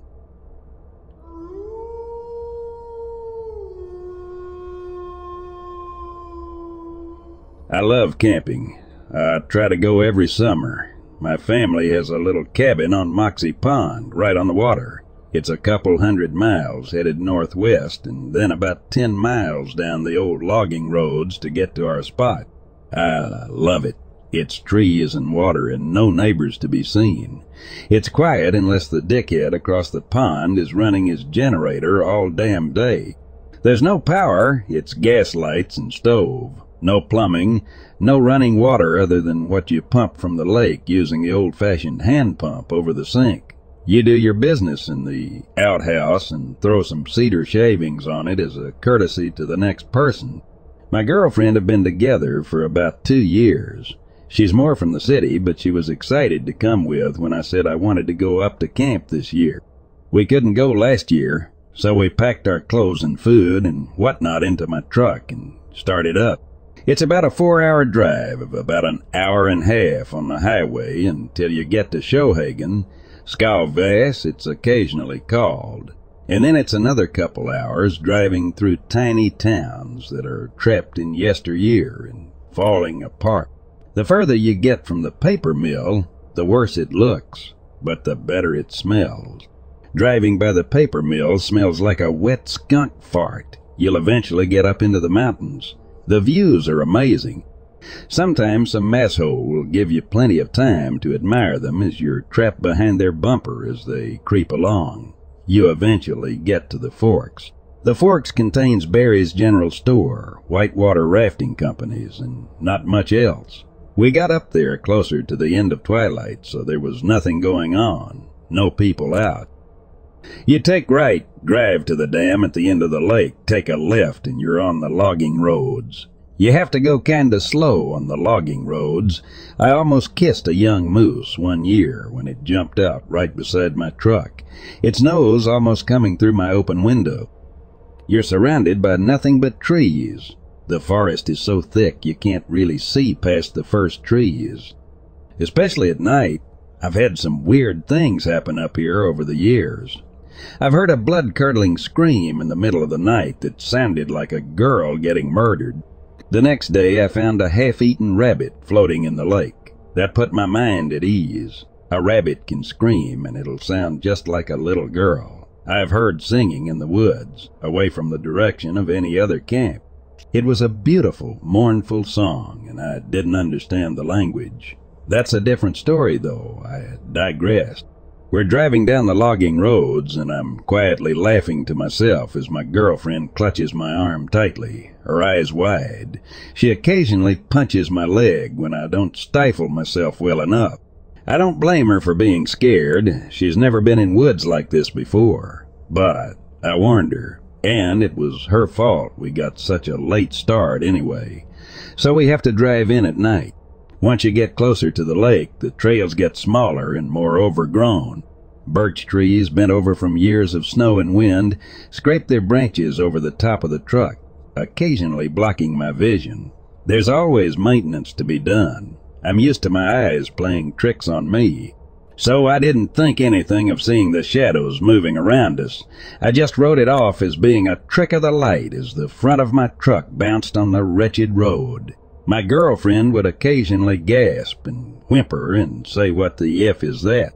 Finally, I just had her put her head in my lap, and I played with her hair as I drove, constantly telling myself that the figures and shapes I see are just trees and shadow. This isn't my first time doing this. I get a little turned around in the dark, but we get to camp, okay? I let her put her head back up, and I take her in my arms and comfort her before we get out telling her that nothing weird has ever happened up here. It's a lie, but I only have to get her out of the truck and into the camp. I grab my flashlight and get out and walk over to her door. I open it for her, grab her bag, and walk her into the camp. I get the gas going and turn the lights on, sit her down in the comfy chair, hand her her book, and go to get the rest of the stuff out of the truck. We're moved in, and I make us dinner while she reads. Safe inside. She's calmer now, but she did have me close the blinds to the double slider at the front of the camp. I was going to, anyway. During the day, it's a wonderful view of the lake, but at night, the fear is always at the back of my mind that I'm going to look out them and see something standing on the porch, looking in. We eat, we enjoy the privacy and each other, and we go to bed. We stay in the camp for a couple days. There's nothing that needs doing. We read, we swim. We F, we take the kayaks out and visit the islands. I tried to get her to just be naked while we're alone up here, but no luck. I brought a tent because I'd like to spend a night right out in the woods, but it's hard to convince her at first. But after a couple nights spent drinking by the fire without anything weird happening, she's more inclined to try it, as long as I bring my shotgun, which I was going to do anyway. I've never had an encounter with a bear or wolves up here, and we didn't hear any howling, but I'm not staying in the woods unarmed. It's the third or fourth night when we go out. We don't go far because I know better than to just wander off into the woods. We stay in sight of the big tree beside camp. We can't see the camp, we can't hear the water, but we find a nice flat spot in a small clearing, and I put the tent up. You can probably imagine how we then spent the rest of the day. We'd had hot dogs and s'mores over the fire that night, and then I put the fire out and we staggered to bed. She fell asleep quickly, I didn't sleep so well. I feel like I was in and out all night, more caught in the in-between world than actually asleep. I felt her get up and saw the muted light from her hand covering the flashlight, but I couldn't react or say anything. I'm not sure I didn't dream it. She went out, and after a minute she came back in with the light off. She laid down and was out again. I still couldn't move, so again I'm not sure I didn't dream her going out. My dreams are generally this not exciting, but I know I woke up when I heard her voice from outside the tent, her face on the other side of the fabric, a desperate and terrified whisper. You need to get out of there, that's not me. Get out, we need to get back inside the camp. My blood ran cold and my eyes opened. At least I think they were open. I couldn't see a thing. I sat up and went to reach for my shotgun, just in case, but I felt her hands wrap around me and gently pull me back down. She whispered, Where are you going? And I just froze. I let her pull me back down as my mind raced. My thoughts were like a broken mirror tumbling around in a dryer, smashing into each other and splintering even more. I said nothing, I just laid down and listened. My girlfriend still had her hands lightly across my chest, and she seemed to have fallen asleep again. I laid there in the dark, straining to hear anything other than her breathing. There was nothing. I had to chalk it up to dreaming. But I also had to look before I could go to sleep. I started to get up again, but again she pulled me down and got on top of me, aggressively kissing me. She didn't go to bed naked. She always wears pajamas. She wore some light blue pajama pants and one of my shirts to bed. But they're gone now, though. I wear nothing to bed, so it was easy for her to get what she was after. It's exceedingly rare for her to initiate. That's almost always been my job.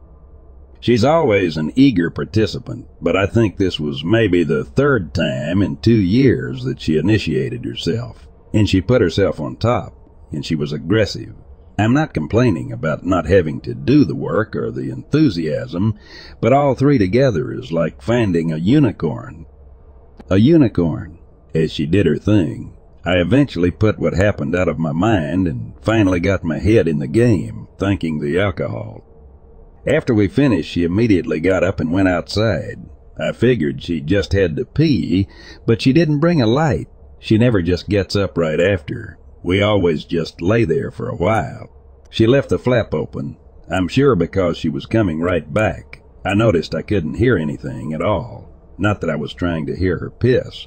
I just figured that she wouldn't be concerned about it and go too far from the tent in the dark. After a couple minutes, I heard her footsteps returning.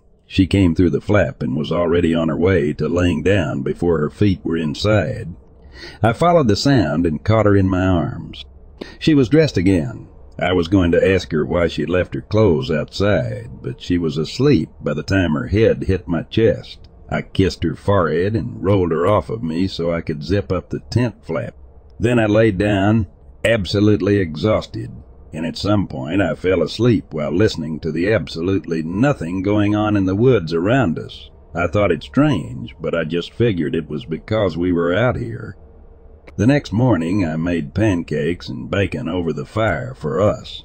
I mentioned the happenings last night, and she just looked at me quizzically. She couldn't remember any of it. She only remembered waking up to pee, taking the light, and then just going back to the tent and crashing again. She's not superstitious, so she just blamed the alcohol and was happy that she made me happy, and that was that. After breakfast, I started to break down the camp. I packed up some things for her to take back, pointed out the tree by camp, and sent her on her way. I watched her walk away for a minute because I just enjoy watching my girlfriend walking away. She disappeared into the woods, and I set about breaking the tent down and getting it packed up. It went slower than I would have liked. You have to get everything just right if it's going to fit in its respective bags again. After struggling for a bit and scratching my head, I became aware that I wasn't alone. I turned around and there was my girlfriend, just looking at me. In broad daylight, she was naked again. My eyes lit up and she giggled at my face, then crossed the distance to me without a word. She used the rolled up tent to kneel on for about 20 minutes, then just got up and walked off in the direction of camp. I'll admit, I was starting to have a hard time keeping up with her. Not that I was complaining, but I was feeling exhausted after every time. I finally got everything put away and went back to camp. I sat down and read for a little while before finally succumbing to a nap sitting in the comfy chair in the sunlight facing out the sliders. I woke up to my girlfriend getting touchy after me again. When we were done, I immediately passed out. I woke up sometime in the mid-afternoon to wind and rain. I'm not sure when. We don't have a clock at camp. My girlfriend had moved to the couch, reading. She was in just her underwear. I didn't know what prompted this change in dress code and appetite. I thought it was weird, but I was also happy about it. I started picking things up as we were leaving the next morning. I went in the bedroom to gather any clothes. Her blue pajama pants and my shirt weren't anywhere to be seen. I asked about them, and she said they were already packed. I went outside to take a leak. The winds were getting stronger now, and occasional fat raindrops would slap against my body. I could just barely hear my girlfriend calling my name, so I shook it off and went back inside to find out what she wanted. She was still sitting on the couch, reading. I asked if she was calling for me. She just looked up and shook her head. I reminded myself that sometimes my imagination gets the better of me and just put it out of my mind. That night, she didn't let me go right to sleep, but I crashed hard after. I woke up with a mild headache early in the morning. I had to pee again. I turned on my flashlight and covered it, leaving just a sliver of light. My girlfriend sat up and looked at me, so I turned the light towards her. Her eyes looked white and cloudy. I uncovered the light and she blinked from the brightness and her eyes were back to normal. She cursed me for blasting her in the face with a light and I apologized. I told her what I was doing and to just go back to sleep. She told me to hurry back. The storm had passed. I walked outside to the tree line. I shined the light through the trees while I relieved myself, just in case. The beam fell upon a patch of upset earth, all scratched and dug up. It wasn't far into the woods, so I walked over to it. Something had obviously gotten eaten. There was blood everywhere. I couldn't really make out any tracks. It just looked like there was a lot of thrashing and kicking involved. But it was weird that there wasn't a carcass, and it was weird it had happened so close to camp. If the body had been dragged off into the woods, I wasn't going to go looking for it. The next morning, we got ready to go and headed out. We talked about the weekend, but she seemed to have a spotty memory of it. I didn't think she had that much to drink. She kept herself entertained with me for most of the ride home. She'd never done that before, even when I asked for it. I was finally starting to think with the head attached to my shoulders. Her personality was different, at least when it came to sex. But aside from that, she still acted like she always had. I wasn't sure what to think. All she would say when I'd ask why she wasn't nearly as inhibited anymore was I got over it, delivered with a shrug and a smile. It's been a few months now, and her appetite is still high. I'm having a harder and harder time keeping up with her. I'm just getting tired more often. I've noticed I'm getting white hairs, and I just feel older. I'd talk to my doctor about it, but I can't afford that. I try to tell her I'm tired, but she always brings it out of me, and then I crash immediately after. And she always seems to have more and more energy. I don't know if I can keep doing this. I couldn't even write this in peace. Does anyone have any idea what's going on?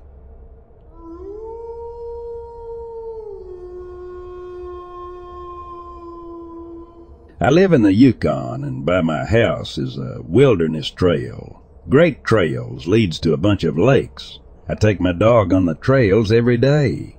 Usually I have to walk him for at least two hours because he's part husky and has energy for days. Getting him to turn around any earlier than an hour is a nightmare. One day we're headed to the trails. Doesn't seem like anyone else is around. Seems quieter than usual. We're maybe 10 minutes into our walk and we're on a trail that is completely surrounded by trees. My ears popped for some reason, and it seems like the whole world's audio is turned off. Something also feels off. I look down and my dog, who normally barks his ass off at all and any wild animal, is crouched down, hackles up, completely silent, and just looks up at me with distinctly fear-filled eyes. We turn around, and he is pulling me back towards the house. He runs into my room and hides under the bed. He will not come out. He's under there for a few hours. When he did come out, he just sat staring out the window with his hackles up. He refused to go outside all night. Eventually, he got over it and relaxed, but even years later, he won't go down that one path.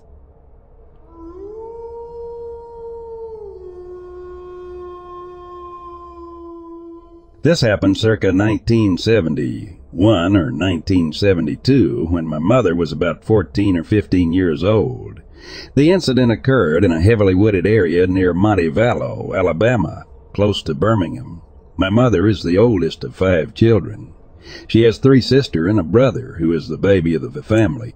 One weekend in the cooler months of the fall, my grandfather decided to take the whole family my grandmother, my mother, and all my aunts and uncles, so seven people total, into the woods for target practice with a rifle. My mother grew up quite poor, and they didn't always live in the best neighborhoods, so my grandfather wanted to teach the kids how to defend themselves with a rifle if need be. Like I said, it was later in the fall, so the trees were bare and there were lots of leaves on the ground. The wooded area was just off a dirt road, so this was a fairly rural area they were in. Since it was so far off the beaten path, my grandfather became startled when he heard the roar of a car engine so deep in the woods. My mom remembers the car as being a blue Ford Galaxie. Despite the fact that my grandfather had a gun, he totally freaked out and told my grandma and the kids to hide under a pile of leaves in the woods. He hid with them, the man in the driver's seat got out, dragged a woman's body out of the car, and just dumped her there in the woods and drove away. After my grandfather was sure the man had gone, everyone came out of hiding and the woman sat up and stared them straight in the face. My grandfather asked the woman if she needed help. She said no, she would be fine. She didn't seem to be injured and obviously didn't want help. She hadn't put up a fight with the man when he was dragging her out of the car. She must have known him. Hmm. So my grandfather cut the shooting lesson short and decided to rush the kids home to safety. Well, on the trail back to the dirt road where my grandfather had parked their car, they passed the man in the blue Ford Galaxie driving out of the woods. My mom looked over and noticed that he had a huge machete laying across the front seats right beside him. My grandfather made sure that the man could see that he was carrying a rifle, but everyone was careful not to give away what they had just seen. The man struck up small talk with my grandfather, asked him how he was doing and what they were doing out in the woods. My grandfather explained that he had just taken his family out for some target practice with a rifle. The man told him to have a nice day and continued driving. The next day, my grandfather went back out to that spot in the woods. There was not a body there.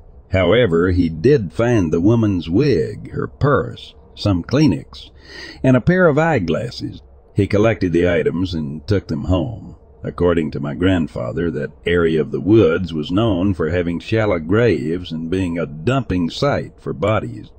My mother became hysterical when he walked in the door carrying that stuff. She started screaming. He killed that lady. He killed that lady. My grandfather ended up taking the items to the police station, but my mom doesn't think anything ever came of it. She never heard anything else about it after that.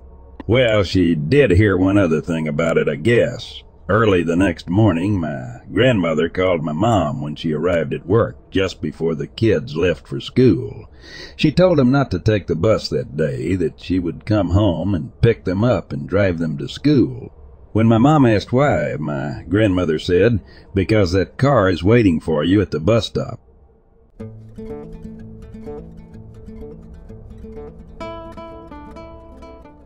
In the dense wilderness of Yosemite National Park, an unknown predator roamed free, having escaped from a secretive government facility. It moved with calculated stealth, blending seamlessly with the shadows of the towering trees.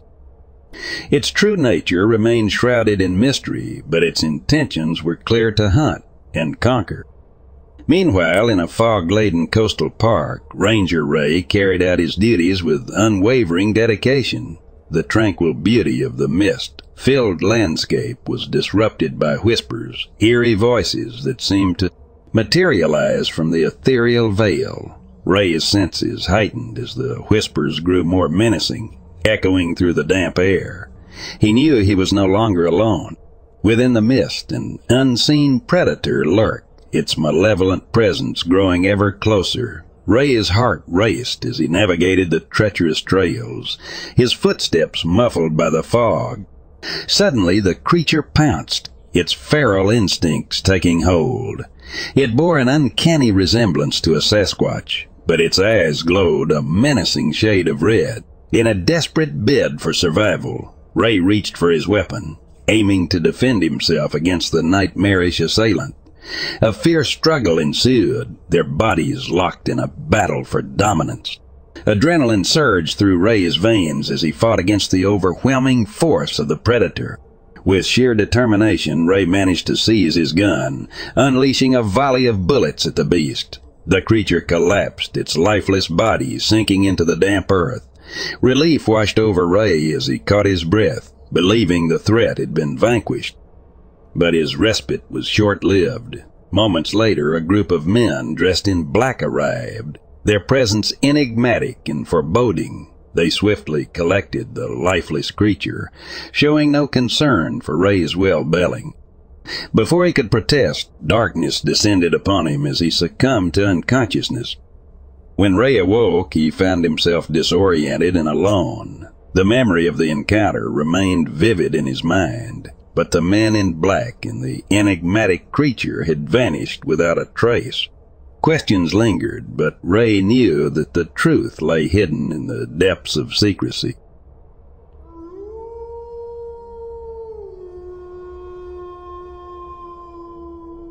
Me and my pregnant wife were staying at my parents' house in northwest Tennessee on September 17, 2021. It is about 50 yards from our new house. I went out on their back patio to smoke a cigarette around 12 a.m. Over the fence, I heard something that sounds like it was choking on something, but at the same time sounded like a distorted pig squealing. It would make sounds in about two, three second spurts. I honestly thought it was a hawk or owl, anything that could be explained. I thought it was definitely weird, but probably natural. About three hours later, I couldn't sleep and decided I would go to the gym. As I'm walking to my car across the yard and towards the road, I hear this same weird sound coming from about 50 yards away at my 10 o'clock direction. I looked around and I couldn't see anything or hear anything. Then I hear hey, hey in a woman's voice coming from the same direction. So I look back up and there was nothing there. As I'm scanning the yard, I hear that loud squealing noise again. I got in my car and dipped as fast as possible. I thought it was weird, but didn't give it a second thought until a month later I was on TikTok and saw a video of a man riding a horse in Arizona, I believe. And in the video I heard a woman say, hey, hey, this makes him and the horse both freak out and run away. It was believed to be a skinwalker. When I heard that same voice and those same words, almost like a recording, my heart sank to my stomach. I really don't believe in any of this, and I've tried every way I can to disprove it, and I truly can't. It doesn't scare me as much anymore as it intrigues me. I am so, so curious to know what that was, and why me?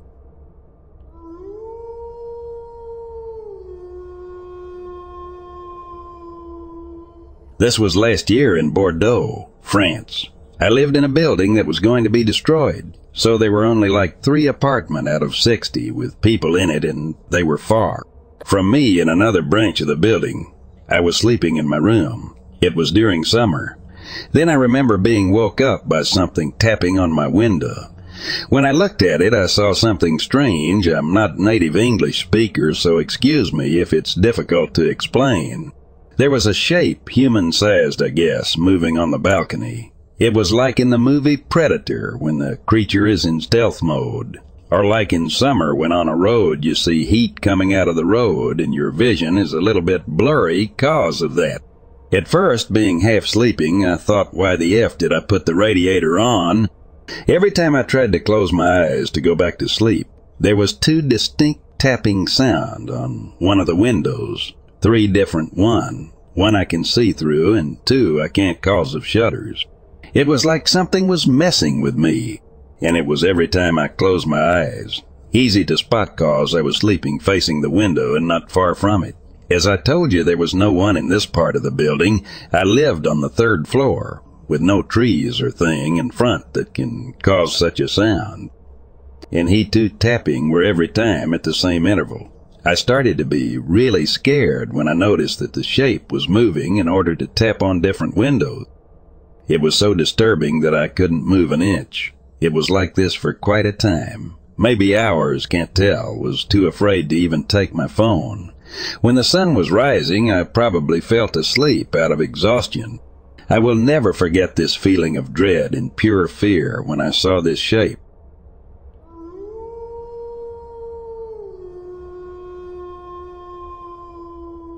My mom, brother, and I were driving over an highway overpass one night a few years back, and this big, black, hairless creature jumped over the side of the overpass, ran on all fours in front of our car and a few others, jumped over the dividing median but grabbed it with its front feet, ran in front of the other cars on the other side of the highway, then jumped down the other side of the overpass.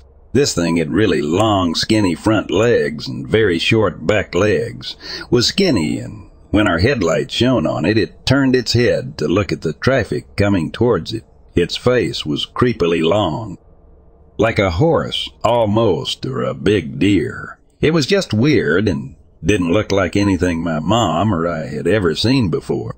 This was like ten years ago, and I've been trying to come up with every idea of what it could have been a manged black bear, some strange manged wolf, or black manged coyote or something, but nothing looks like it at all. The head, though, is what F's with me. It was much too big and long for the body. My mom and I saw it and slammed on the brakes like other drivers next to us.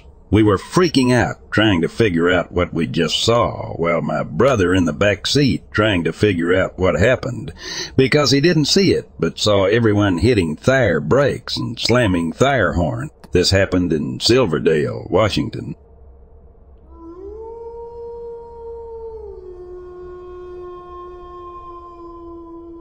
There is a hike to the top of Pikes Peak that has a camp halfway up popular with tourists. It's a pretty tough 13 miles to the peak. I do a shorter hike that breaks off and shares the same trail that loops around. I often love doing the loop twice.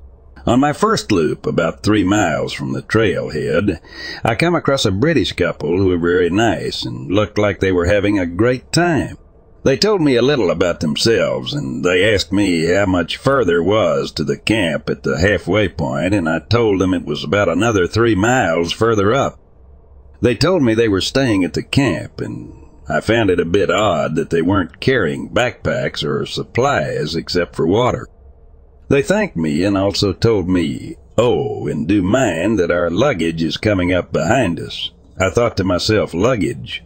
On the way down, and I saw what they meant. About 1.5 miles from the trailhead here was a young Indian man carrying two huge red luggages up the trail by himself. These were the types of luggages you see at hotels with tiny wheels and both looked extremely heavy. The only way this young man, who I uh, presumed to be their butler of sorts, can move the luggages up the trail was to lift up one at a time with both arms a few feet forward set it down, and repeat with the other one. He looked pretty tired, and he wasn't even nearly a quarter of the way to the camp.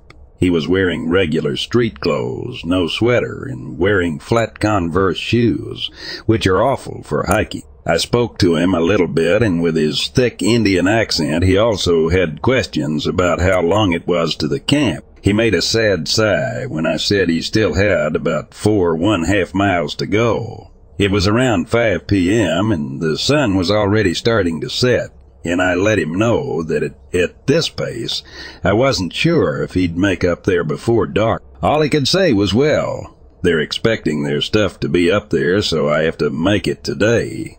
I wished him luck and went on my way. On my second loop around the shorter trail, I didn't come across the well-off British couple again. They must have continued on past where the trail splits. I did, however, come across the young man again, who, after about two hours, had only made about another mile of progress. He looked absolutely exhausted, and the wheels of the luggages were completely worn down to the base, so he had to continue carrying them up one at a time. It looked like his back was hurting too. He again asked me how much further it was to the camp. To his dismay, I let him know that he still wasn't even halfway there. I asked him what he was going to do. He had no idea. He came to the conclusion that he'll probably just sleep by the side of the trail and then try to make it up in the morning. He asked me if I had any water that he can buy off of me. I had a spare Gatorade and he mentioned that he only had a $50 bill, but he was willing to give it to me seeing how desperate of a situation he was to offer so much for a drink and how tired he looked, I just gave it to him and told him to keep the money. I have no idea what happened afterwards, but that was one of the most weird things I've ever seen. This guy was totally unprepared for a hike like this.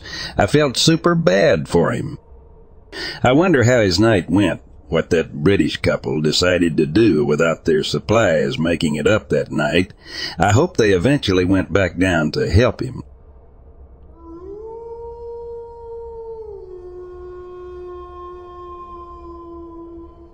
I was backpacking alone at Mount Rainier. During the night, I saw three circular, flat flying objects hovering like 100 feet in the sky, doing patterns. They would leave and come back, and it was all night from dusk until dawn. At one point, one hovered over my tent. I had the rain fly off, so I watched them through the mesh the entire night, frozen with fear. As soon as the sun rose, I shoved all of my gear into my pack and ran all the way back to my car. I drove to the ranger station to ask if they were testing any weird equipment. He said there was a military base nearby, those things did not look like any drones I've ever seen or anything that I can explain.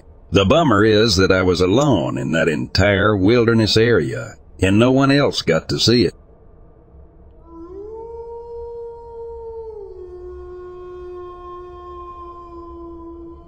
I was hiking and camping in the Sangre de Cristo Mountains with intent to summit some mountains the next few days. I make camp for the night and am just enjoying the evening when I hear a bunch of motorized equipment, four-wheelers and dirt bikes below me tearing up in the meadow. There are probably 20, 25 people in this group. The route I came in didn't allow any motorized equipment, but oh well, what can you do anymore? So they start to make camp also and are boisterous and loud. I am certain there is a lot of alcohol being consumed. Not the experience I was planning to have, but I am moving on in the morning. Around 11 p.m., I'm trying to sleep in my tent and the party is still raging. Then the gunshots start. The drunks are just shooting wildly in all directions, out of their camp to being the party to a whole other level.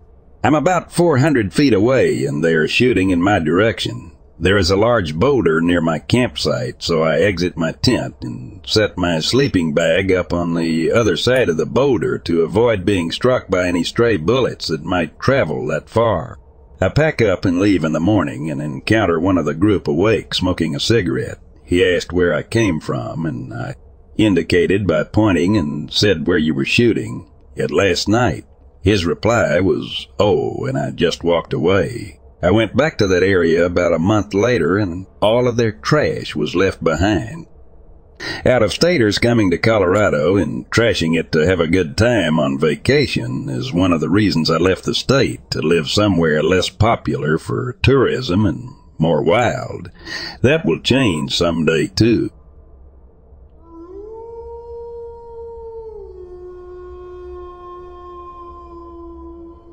A couple years ago, when I was still in high school, my friend and I were walking along a long and lonesome road in southern Pennsylvania. We were bored as hell and looking for bottles alongside the road to smash against rocks and trees, just talking about nothing as we went along.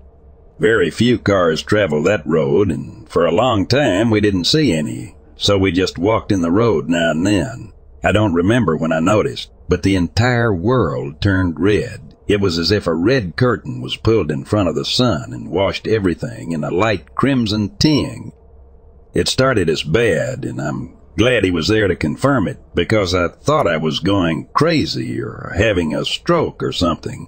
When nothing happened for a while, we just kept walking, but I felt extremely on edge, like something was very wrong. Eventually, the red light faded after what felt like forever, but was probably 10 or 15 minutes. I have never seen or heard of anything like it before or since.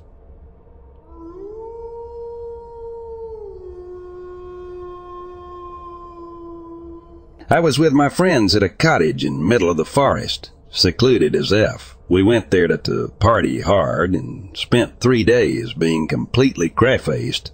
We had just as much hard alcohol as we had water. So this night, when it's after midnight, we decide to take a stroll to a nearby Jewish graveyard.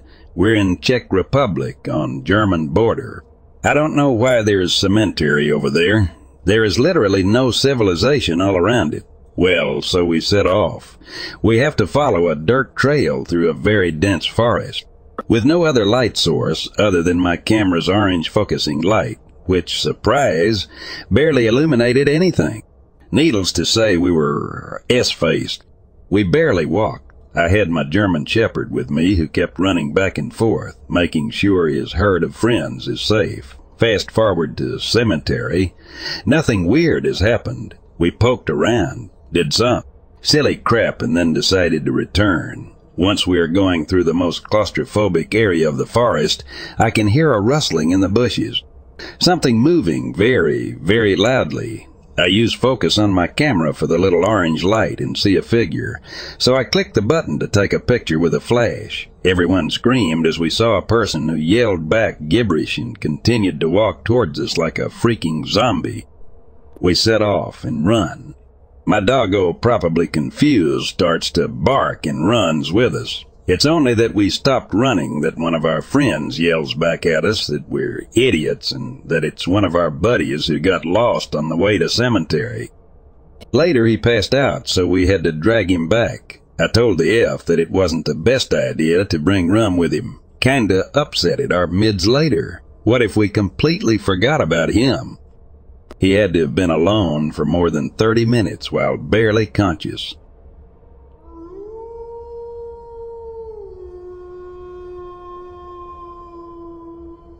I was walking my dog very early one morning, and I was the only person out at the time. It was winter, so it was quite cold, and the streets were icy. All of a sudden, from behind me, I heard this low, guttural, growling noise. I turned around and I saw way, way up the street behind me a man walking my way. I thought surely it couldn't be him making the noise as he seemed too far away. Anyway, I dismissed it and kept walking. A couple of minutes later, I heard it again. Only this time it was right behind me. My dog starts freaking out, barking and trying to get at whatever it was making this noise. This time I didn't look behind me, I just started walking faster. The growls became louder and longer. It was the weirdest thing. It sounded like a cross between a demon and an animal. Anyway, I practically dragged my dog to our house and slammed the door. I ran to the window and looked out. There was nothing there. I told my husband. He just shrugged his shoulders and dismissed the whole thing. After it happened, I bought a vial of pepper spray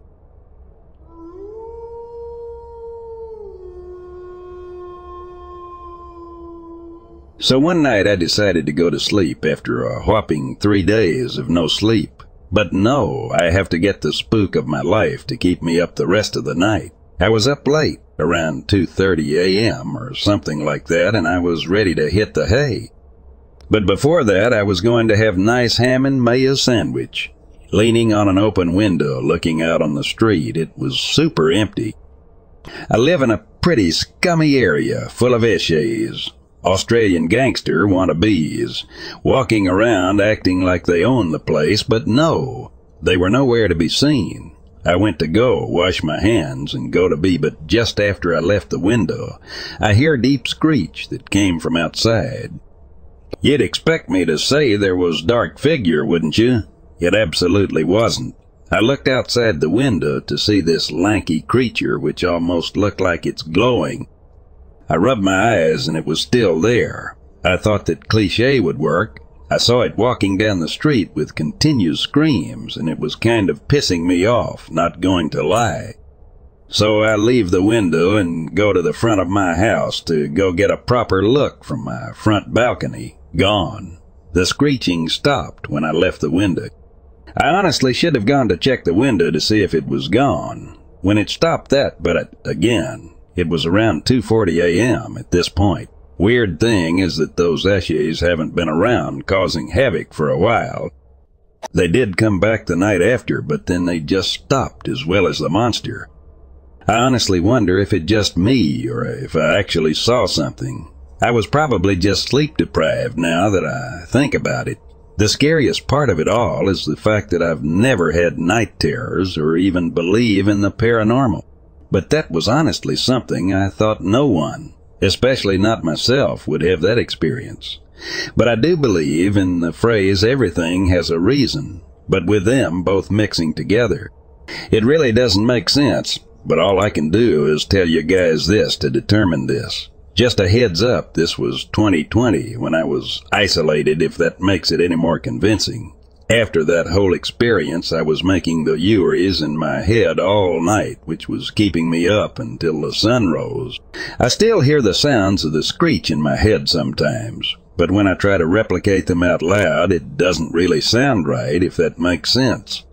I want to think that that monster, or whatever that was real, and I wasn't just seeing things, but who knows? I honestly too lazy to do my own research on it, so I, I thought you guys would know better than anyone since you're so woke. Do y'all know what the hell that was?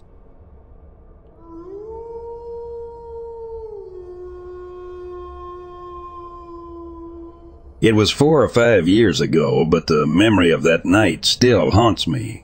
My ex-boyfriend and I were driving through one of Georgia's national battlefields, once an Indian land, with a history of haunting stories. The stars were shining brightly that night, and we wanted to take advantage of the clear sky and peaceful atmosphere. We cruised along the empty roads, windows down, enjoying the night air. My ex decided to stop at one of the fields to capture the beauty of the Milky Way with his camera. I stayed in the car, gazing at the sky, lost in the vast expanse above me. Suddenly, from the corner of my right eye, I saw something white crawling towards the car. My heart skipped a beat, and my first thought was that it must be a ghost. After all, the battlefield was known for its haunted past. But as I looked more closely, I realized this was something entirely different. This creature had no face and moved with an unnatural gait. As if all of its bones were broken. The sight of it sent shivers down my spine, and I was paralyzed with fear, unable to react or call out to my ex. As he finished taking the picture and returned to the car, I mustered the courage to turn and fully face the creature. It had stopped making its way towards us, and, as if sensing our attention, darted back into the woods. My ex, oblivious to what had just occurred, started the car, and we drove off, leaving the eerie encounter behind us. Ever since that night, I've believed that I came face to face with a skinwalker. The fact that it had no eyes made me question my conclusion, but the experience was too terrifying and unexplainable to be anything else.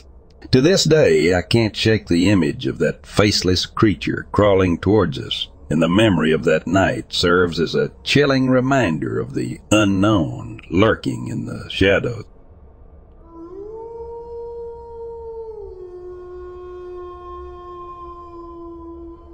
I had an eerie encounter during a solo hunting trip. I had successfully tagged out on the first day of a deer hunt and with 10 full days off work, I wasn't ready to return to the real world just yet. I decided to spend a few nights exploring new areas of the hunting unit for future seasons. I took a service road deep into the wilderness and found the perfect spot in a valley surrounded by towering peaks. I set up camp and then ventured out to scout the area for deer, just for fun. As I headed back to camp, I noticed something peculiar Several of the trees surrounding my campsite were scarred with deep vertical marks. They looked like claw marks, but I couldn't tell if they were from a bear, a mountain lion, or even purposefully made by someone trying to fool people like me. I shrugged it off and settled in for the night. Being a light sleeper, any sound or disturbance could easily awaken me, and in the dead of night, that's precisely what happened. I was jolted awake by the most chilling sound I'd ever heard, a screaming banshee, like wail echoing through the valley. I lay there frozen in my sleeping bag as the eerie sound repeated several times, each scream sending shivers down my spine. I tried to rationalize the noise, telling myself it must be a distant animal or the wind howling through the trees. But deep down, I couldn't shake the feeling that something otherworldly was out there, haunting the valley. As morning broke, I packed up my camp, my nerves still on edge from the night before. I left the area, unable to shake the memory of the spine-chilling screams and the unexplained claw marks. To this day, the experience remains one of the most unsettling moments of my life a reminder that there are still mysteries lurking in the wild, waiting to be discovered by the unsuspecting adventurer.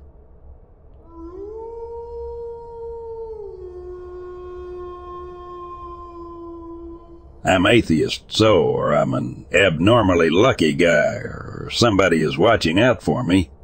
Not one, not two, not three, but four times I had this urgency to go to an open area, if I were claustrophobic, I would understand it, but I, when I got to this open area, not one single building around me, and strong earthquake will hit the town. Puebla, 1998, 1999, and 2017, in Orizaba, 2015. Weird thing is, I don't live in those cities. Four times I've outran an hurricane category 5 by matter of hours. When I need something, I usually get it. You want to know how crazy it has become this last year due pandemic. United States consulate in Mexico stopped all working related to foreign visas. Without visa, I couldn't work on the United States. So I got dumped of that opportunity. Fast forward to September and another chance is hitting my doorbell. Better salary, better conditions, just plain better. But since I didn't cancel my visa appointment, I had preference during the few three or four weeks the United States consulate worked before having to shut down again. Everything was just one day to do. One day wait to the interview, one day to get the visa. From there, I can go on and on about losing bus tickets only to later seeing that bus was wrecked or hijacked, only studying the topics of a test was so common my classmates were pending on what topics I ended up studying. Seriously, I'm a very lucky person. And before you ask, I have never lost on lotteries, scratches, and those kind of things. Never. I've never won big time, but never lost, and I got the feeling I shouldn't keep trying. I can't honestly explain from where such good luck comes, and I know statistics, and I know chances are almost always on our favor. But seriously, I just have so much luck that is just ridiculous.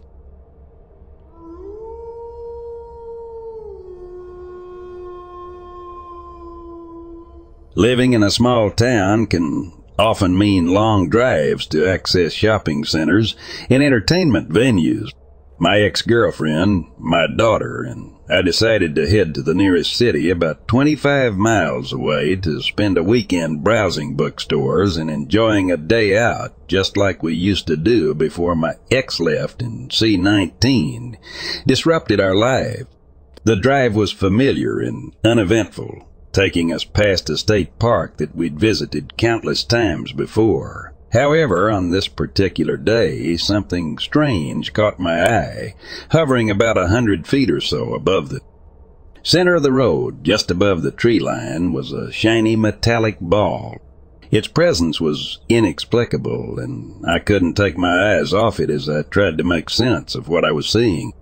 My focus on the mysterious object meant that I was no longer paying attention to the road, and before I knew it, the car had veered too far to the side, causing the tires to make that unmistakable brar sound as they hit the grooves on the shoulder. My ex-girlfriend, clearly alarmed, shouted babe, urging me to correct our course and avoid an accident. I quickly straightened the car and asked her, Do you see that? She responded with a puzzled what? When I looked up again to point out the strange metallic ball, it had completely vanished. It was as if it had never been there in the first place, and I was left questioning my own perception. We continued on our journey to the city, but the encounter with the mysterious object weighed heavily on my mind. I replayed the incident over and over in my head, trying to understand what I'd seen and why it had disappeared so suddenly. My ex-girlfriend and daughter remained skeptical, but I knew that what I had witnessed was not a figment of my imagination.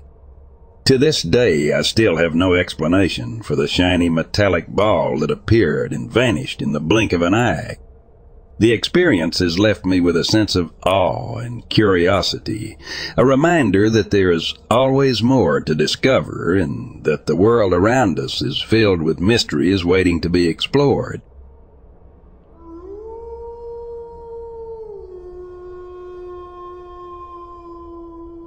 I'd like to start this by stating that I don't believe in the supernatural. But once, when I was 16, I was at a sleepover at a friend's house and at about 3 a.m.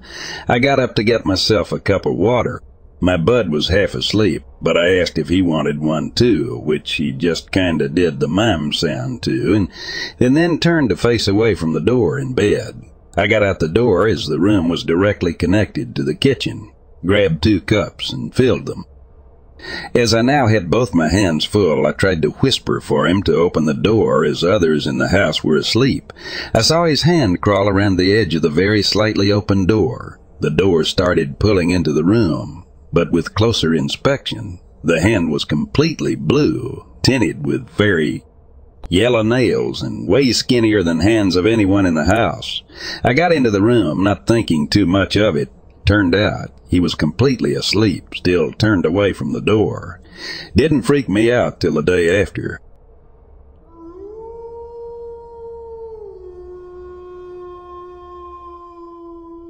My best friend of 16 years told me a story that I will never forget.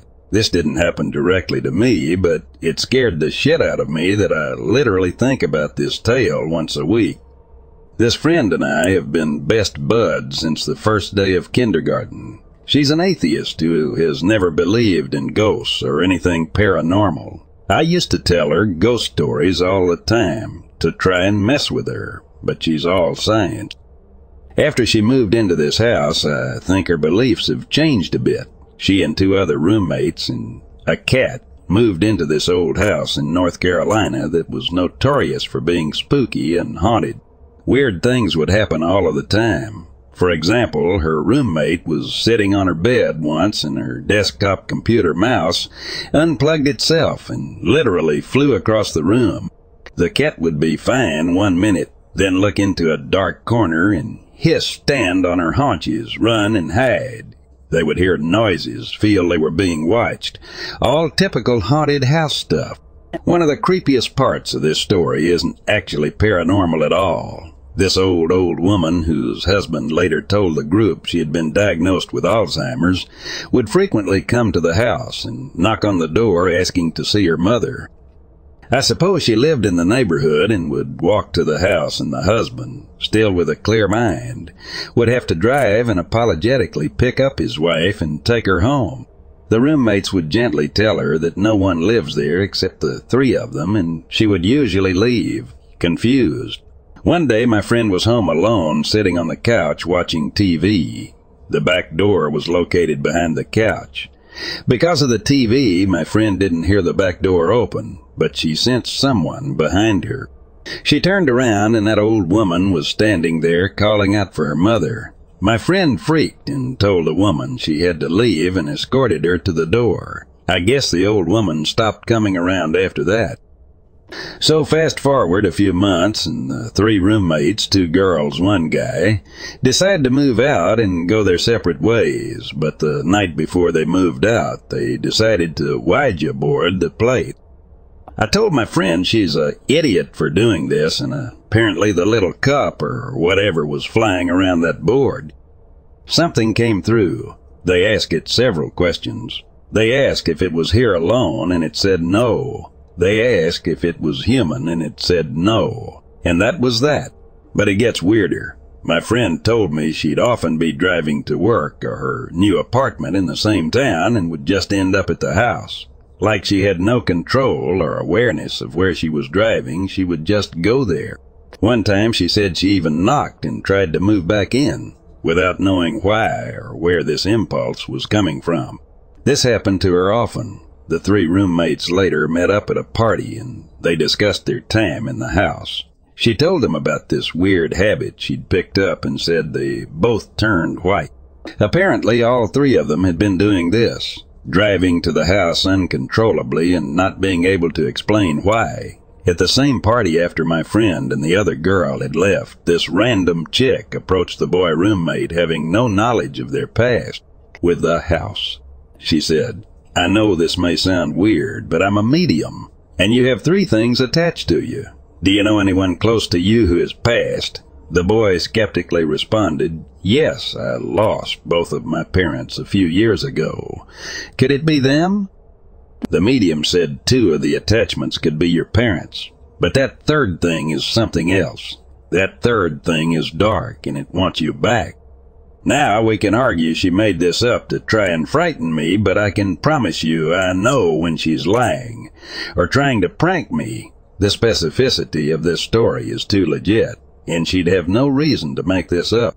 I'm just really glad she never asked me to sleep over while she lived there.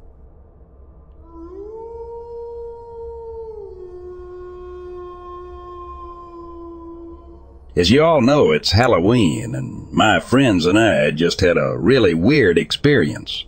We were sitting in the cemetery next to the host friend's house and smoking weed at around 9.39, 45 p.m. We were just messing around and having fun until we heard a super loud growl from the woods behind us. Like not an animal growl, but not a man growl either. It sounded like Mongolian throat singing or something. I asked everyone, did you guys hear that? But nobody responded, and one of my friends took off running. We all took off running after her, even my friend whose legs give out on him a lot and would be in extreme pain every time he ran. So I know they weren't doing it tough with me. My one friend said he could hear someone running through the woods behind us, and another friend heard what sounded like a man yelling after us. The neighborhood is full of extremely rich old people, and none of us think they would pull a prank like that, especially since it was pitch black and we had no flashlight, so you wouldn't just be able to casually see us in the cemetery unless you were looking on purpose. Any ideas on what the F just happened to us.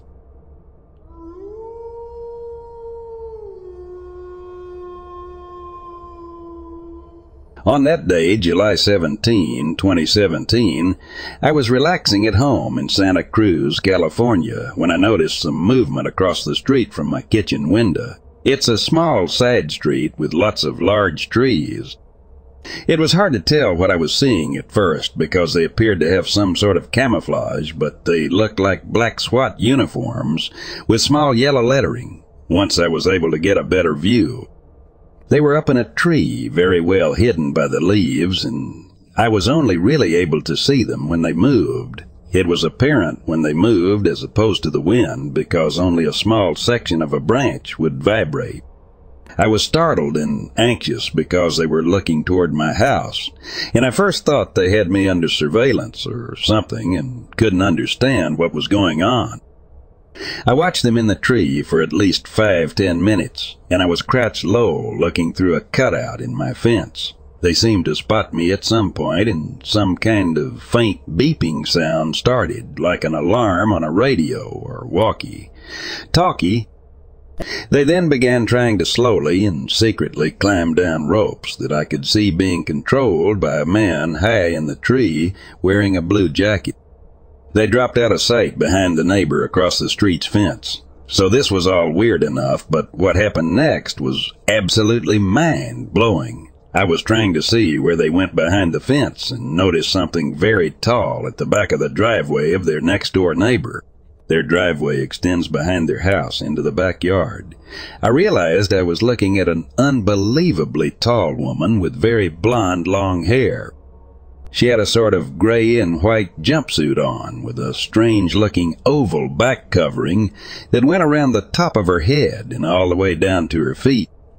It was only solid in the back and was whitish in color with a patterned border around the edge. It didn't really look like fabric, but I couldn't tell what it was. Her eyes were extremely large. She stood very still, but moved slightly, and there seemed to be a shorter humanoid shape wearing the same color jumpsuit moving around rather wildly at her feet. But the shadow of the fence made it hard to see that part. The sunlight was good and bright, and the only obstruction was some sparse shadowing from tree leaves. Not really sure what I was looking at, I looked back to where the black-wearing tree climbers had been and saw that suddenly there was now a short, skin-colored something standing behind their fence. The fence is a lattice pattern, so there are a good many holes you can see through. It was too short to be seen over the top of the fence, but I could see a very large face with a deeply wrinkled forehead and eyes that almost looked like they were made of some kind of glitter. They were very large and somewhat rounder than what people usually describe as alien eyes. I could see that it was looking right at me, so not knowing what else to do, I waved at it. It then reached a hand with very long bony fingers through the fence lattice and waved back. It waved a couple more times, stopping in between waves. I was so stunned that I had to look away and shake my head to make sure I wasn't hallucinating. When I looked back, it had stopped waving and was a little farther back from the fence. It seemed like a good entity, whatever it was. Even though I was seeing from across the street through two fences, I could see it quite well. Things somehow got even weirder after that. I decided to lie down for a minute, glancing back to where the massive woman had been, but there didn't seem to be anyone there anymore. I went up into my little loft, which has several skylights under a giant live oak tree. I stared at the tree, trying to process what I had just witnessed, when I noticed a couple of branches quivering like the ones the covert ops guys had been shaking. I expected to see more of those creepy agents, but instead strained to see a much smaller creature climbing expertly up into the high branches. It was difficult to see it clearly because it seemed to be a dusty gray-green color, much like the bark and leaves of the tree. It seemed to have textured skin, possibly scaly, and it, it had angular face with teeny tiny little projections like little horns or possibly short antennae. It has a small mouth that looked full of sharp teeth. Its eyes were quite large and dark. It had a humanoid build but was short. I stared at this for many minutes, wondering what the hell was going on. Then I caught sight of some slight movement on other branches and saw two more of the same creatures climbing easily up the tall tree. They reached a high up branch that was big enough to lie on. The light, once they stopped moving much, was not ideal and it was hard to see them when they were sitting still. In the shade of the branches, it looked like an even smaller dark green creature was working on the gray colored one's back somehow. It looked like a massage to me. I watched until my neck was too painful from looking up to continue. When I looked back a little later, the branches were empty. This was all preceded by an unnerving experience late the night before. I got up to get water and glanced at the driveway neighbor's window. Inside, I saw an unnaturally gangly figure that was bluish light gray. It was staring out of their window directly at me, which caught me off guard, and I let out a little shriek. I walked from the kitchen into the bathroom and looked again, seeing that its eyes followed where I was. I called my boyfriend in fear and told him what I was seeing. He was just excited while I was scared. I thought that would be the end of it when I went to bed, but the next day it was even crazier. I wish I had a way to find out what was going on. There was also a very small orb darting about the branches of the oak tree, and any time it would graze a twig, it would give a little shake. I've never seen a bird or bug or other flying life form move in that manner. I attest that this is all true, and I described it to the best of my knowledge. I've never seen anything like this before and really would like to know what was going on. And if it is real, why so many different kinds of extraterrestrials were in my neighborhood. Thanks for listening. Hope to see you tomorrow, son.